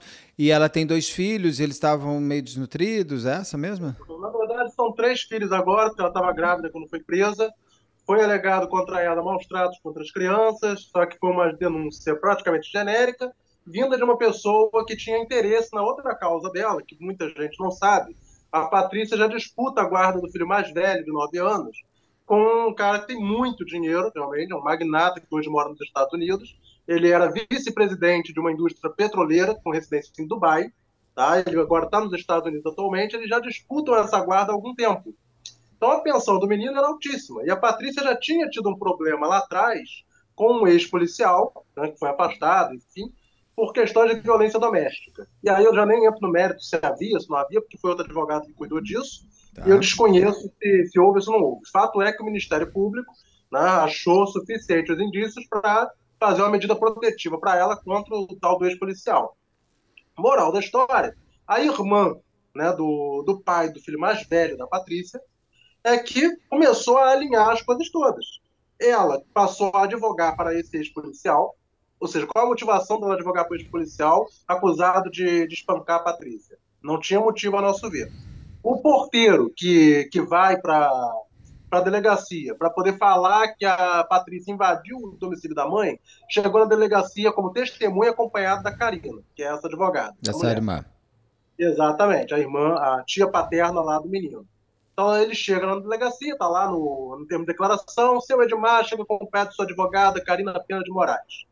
A mesma Karine é a pessoa que pega a Maria Aparecida, mãe da Patrícia, pela mão e leva até o conselho tutelar para falar que os meninos estavam sendo maltratados. Os, maltra os maus tratos relatados no processo disso, que trata disso, é ela não dá comida e a criança vai suja para a escola. Ponto. Não vai além. Nós temos o, o pediatra dos meninos, tá, que confirma que não viu nenhum tipo de problema quanto à nutrição deles. Nós temos relatos do próprio menino Paulo, de 9 anos, em um dos processos de família, que ele fala que o pai dele, né, esse, esse que mora fora, quando ele estava com o pai na casa, o pai fechou a mão, deu um soco na cabeça dele por trás, a tia presenciou e não fez absolutamente nada. Esse testemunho do menino é certificado pelo psicólogo que acompanhou, falando: olha, ele não está mentindo, tem aqui essa certificação e está tudo certo. Só que isso não foi à frente, por algum motivo, não foi à frente. Entendeu? Então a gente tem tudo isso aí. A própria Maria Aparecida, mãe dela, que afirma ter sido sequestrada, os advogados da clínica Revitalis nos informaram, e vão nos dar prova disso, de que após a prisão da Patrícia, a própria Maria Aparecida entrou em contato com eles, perguntando como é que ela fazia para passar mais um tempo lá. Essa moça está presa? Essa Patrícia? Está presa, está presa. Uma luta, ela tá com câncer de garganta na tireoide, ela tá com nódulo enorme. Que a gente ainda não sabe se é benigno, se é maligno, porque a gente não consegue fazer biópsia dentro do sistema carcerário. E ela tá grávida? Estava, já pariu. Já pariu? Já passou, tudo, já passou todo esse tempo? Jesus do céu. A gente fez uma live desse caso. Ela foi presa com. Tava com seis meses, eu acho, de gravidez. Né? E a criança nasceu. Eu cheguei lá no presídio para visitá-la, fazer a visita de rotina, a doutora não está aqui não, ela foi para a UPA do sistema carcerário. Chego na UPA, a doutora entrou em trabalho de parto, foi mandada para o hospital público, em Realengo. Aí corri para lá. Quer dizer, a gente ficou sabendo da situação, enfim, o menino se chama Pedro Aquiles, né, decidiram dar o nome de Aquiles pela situação que está sendo vivenciada e tudo mais. O pai também está preso. O pai tá Eles preso também. Eles estão perto de perder a guarda do menino mais novo também, que é o Patrick, né? Que é deficiente. Que é filho dela? É filho dela, filho da Patrícia com o Rafael, atual parceiro dela. Então, peraí, a Patrícia tem três filhos agora. Um que é com o primeiro marido que esse rico aí. Isso. Esses dois são com o mesmo. Esses dois são com o mesmo cara que tá preso. Isso, exatamente. O Patrick, de dois anos de idade, que tem a síndrome de Dandy Walker, que é uma síndrome incapacitante, e ele também tem um grau asseverado de autismo. Então, praticamente é uma criança que vive na vegetação. Né? Ele interage muito, muito, muito pouco. Tá? E assim, ao passo que acusam a Patrícia de negligência com os filhos, como é dito lá no processo maus tratos, eu tenho aqui todo o roteiro de consultas que ela levou o Patrick. Então, assim, é coisa de espaço de duas semanas, a cada duas semanas consulta médica. Esses comprovantes eu já tenho. Então, quer dizer, não casam um comportamento Então, por que, que ela pôs a mãe na, na clínica? Daquela maneira. Então, eu explico, a mãe, ela já tinha alguns, realmente alguns distúrbios. Se você conhecer a pessoa, você vai ver. Ela já tinha alguns distúrbios, realmente. Aí teve uma, um dia que ela tentou falar com a mãe, não conseguiu. Passou três dias sem a mãe responder, não dava satisfação nenhuma. Ela foi para casa da mãe, bateu na porta, nada da mãe responder. Ela entrou em pânico, achando que a mãe estava em surto ou estava em alguma coisa. Ela pegou e ligou para a SAMU. A SAMU chegou, bateu na porta, também sem resposta. Ela falou: Olha, eu autorizo vocês a abrirem a porta, a arrombar. Chamou o bombeiro e o chaveiro. Quando o chaveiro começou a arrombar a porta, a Maria Aparecida abriu. Ah, o que vocês estão fazendo? Que não sei o que e tal. Não, é porque eu achei que a senhora estava passando mal. Não, vai todo mundo embora da minha casa. A SAMU atendeu ela naquele momento, falou que ela não estava em surto naquele momento. Só que o laudo da SAMU ali, pontual, foi entendido por muita gente como um atestado de sanidade mental completo, amplo. Dizendo, não, ela não tem problema mental, tá tudo certo, acabou. Tanto que nessa primeira audiência foi ouvida a médica da SAMU, e eu perguntei, olha, estão dizendo que a Patrícia queria usar a SAMU para internar a mãe, tá? É, quando vocês se negaram a internar, a Patrícia forçou a barra? Ela pediu para vocês, ela bateu o martelo dizendo, olha, ela tem que ser internada? Não, doutor, não houve isso não. Eu falei, e esse laudo que vocês deram é só daquele momento ali que vocês atenderam, ou é um salvo-conduto de sanidade mental, dizendo que ela não tem nada? Não, doutor, também não, é só daquele momento em específico. Mas, doutora, ela mandou agarrar a mãe saindo do banco. Sim, concordo com você. Isso aí foi uma forma que eu também achei é, esdrúxulo, tá? Só que assim, a gente está tratando de uma internação involuntária, como o próprio nome já diz. A pessoa não quer ir, entendeu? Então, mas não tem que ter um- uma coisa de um juiz, nada? Eu posso pegar e prender meu marido? Assim? Não posso. Então, não é bem assim, entendeu? Tem lá suas particularidades que depois aí no, no nosso vídeo... A gente eu- conversa, tá. Uma outra pergunta que eu quero. Ela põe a mãe e já aluga o apartamento pro carnaval. Não é um pouco demais? Não, Ela- não foi isso. A questão é a seguinte, o apartamento da mãe dela, e isso eu também vou ter comprovante depois do dia 30 para te mostrar, Tá. O apartamento, ele era do pai da Patrícia, Manuel Reis. A Maria Aparecida nunca foi casada com ele, nem tinha reconhecimento de união estável. Então a Maria Aparecida ela nem consta do inventário do, desse homem, que é de 1992. Então o apartamento ele ficou integralmente para a Patrícia, 100%. A Patrícia pegou e fez uma doação de 50% desse apartamento para a mãe, para que ela pudesse residir. Você está me entendendo? E aí a dona Maria Aparecida, na audiência, na primeira audiência, ela falou o seguinte: olha, esse apartamento é integralmente meu porque eu tinha direito. Isso aí não foi doação, não. Ela só me devolveu o que era meu, porque a viúva tem 100%. A gente sabe que não é por aí. A viúva não tem 100%, a viúva Mas é eu não vou nem entrar nesse mérito do, da, do Meira, não Meira. É a casa da mãe, a mãe morava lá, gente. Não, sim, tudo bem. Você pegar, você pegar e botar tua mãe, eu pegar minha mãe, botar no hospício e em seguida alugar a casa, pode ser minha, pode não ser, mas assim, já botar. Mas explico o aluguel. O. A clínica não era uma clínica qualquer. Você já deve ter visto os vídeos aí. A clínica era uma clínica boa, uma clínica razoável. A Patrícia, ela não tá, ela, apesar de morar na Zona Sul, não tinha é, questão financeira alta. Ela recebe uma pensão do pai, que ela divide com a mãe, que é 3 mil e pouco para cada uma, dá ao todo 6 mil e alguma coisa. Tá? Então não dava para pagar aquilo. Por que, que ela recebe pensão se ela é casada? Oi? Não, ela não é casada, ela é juntada.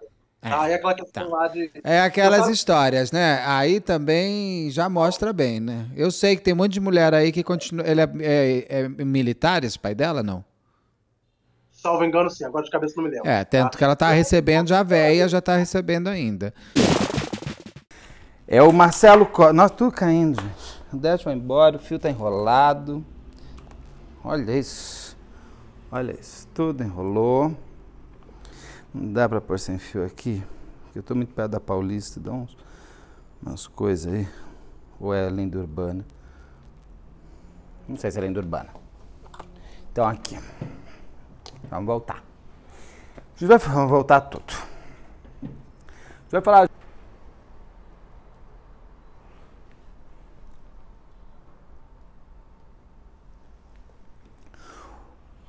O vampiro tem, Aru, 67 menos eh, 2000, 1992 menos 1967.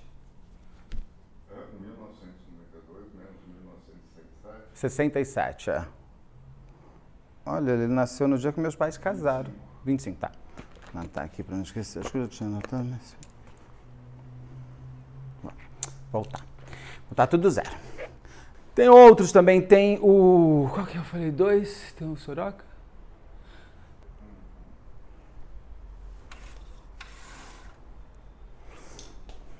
A luz deve estar oscilando, porque eu estou gravando num horário que o sol sobe dessa janela. Mas vamos lá, tenho que ir ainda para o estúdio gravar um monte de coisa. Tem live hoje ainda. Acho que eu estou com muita sombra aqui, né? Vou abrir mais um pouquinho. Vamos ver. Eu achei que estava com muita. Ah, melhorou. Mas daqui a pouco vai sair o sol, vou ter que fechar tudo. Ah, meu Deus do céu, vou correr aqui. Então, e o quanto de verdade ele não disse? Porque, de novo, agora eu tô com um flare na cara. Não dá, né? Olha, não dá para gravar antes das nove da manhã aqui em casa. São sete da manhã. Ainda mais.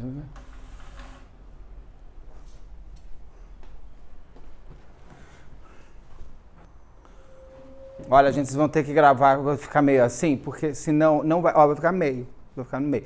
No meio estou no meio, então assim, você é uma pessoa no lado bom e no lado mal. Porque é, o sol vai passar daqui a pouco, ele está subindo, é inverno, mas se eu não gravar, eu estou com toda a história na cabeça, vai me ferrar. Porque hoje ainda tenho que gravar. Uma entrevista com a mãe, uma entrevista com o pai do Jefferson lá. Não o Jefferson, ator que morreu. O Jefferson, o menino. Ai, triste essa história. Vou entrar logo no canal. Ou já pode ter entrado. Acho que já entrou. Ai, menino que estava lá em Recife. Os idiotas saíram, bateram nele por homofobia. O menino está ali tentando sobreviver no que ele pode. E a família junto. Aí eu vou fazer a live com o Carlos. Aí eu vou gravar uma outra entrevista depois. Aí eu tenho que chegar em casa editar. Estou achando editores, então vai ficar tudo mais rápido. Tem gente já doida pedindo, então, já que você vai ter editor logo, porque você não tem dois vídeos por dia? Porque não dá, né, gente? Eu ainda sou um só. Não sei o que eu faço aqui. Vou jogar pra cá.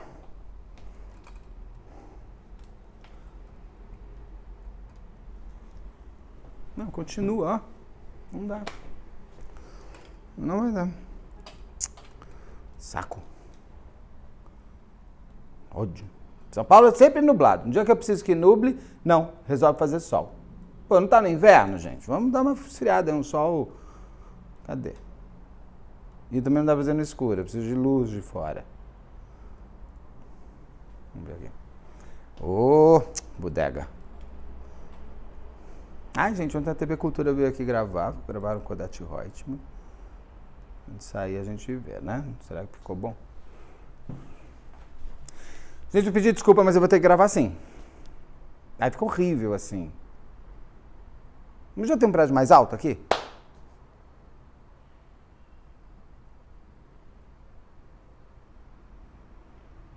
Eu tenho que ir para o estúdio, meu Deus. Bom, vou gravar. Vamos gravar assim mesmo.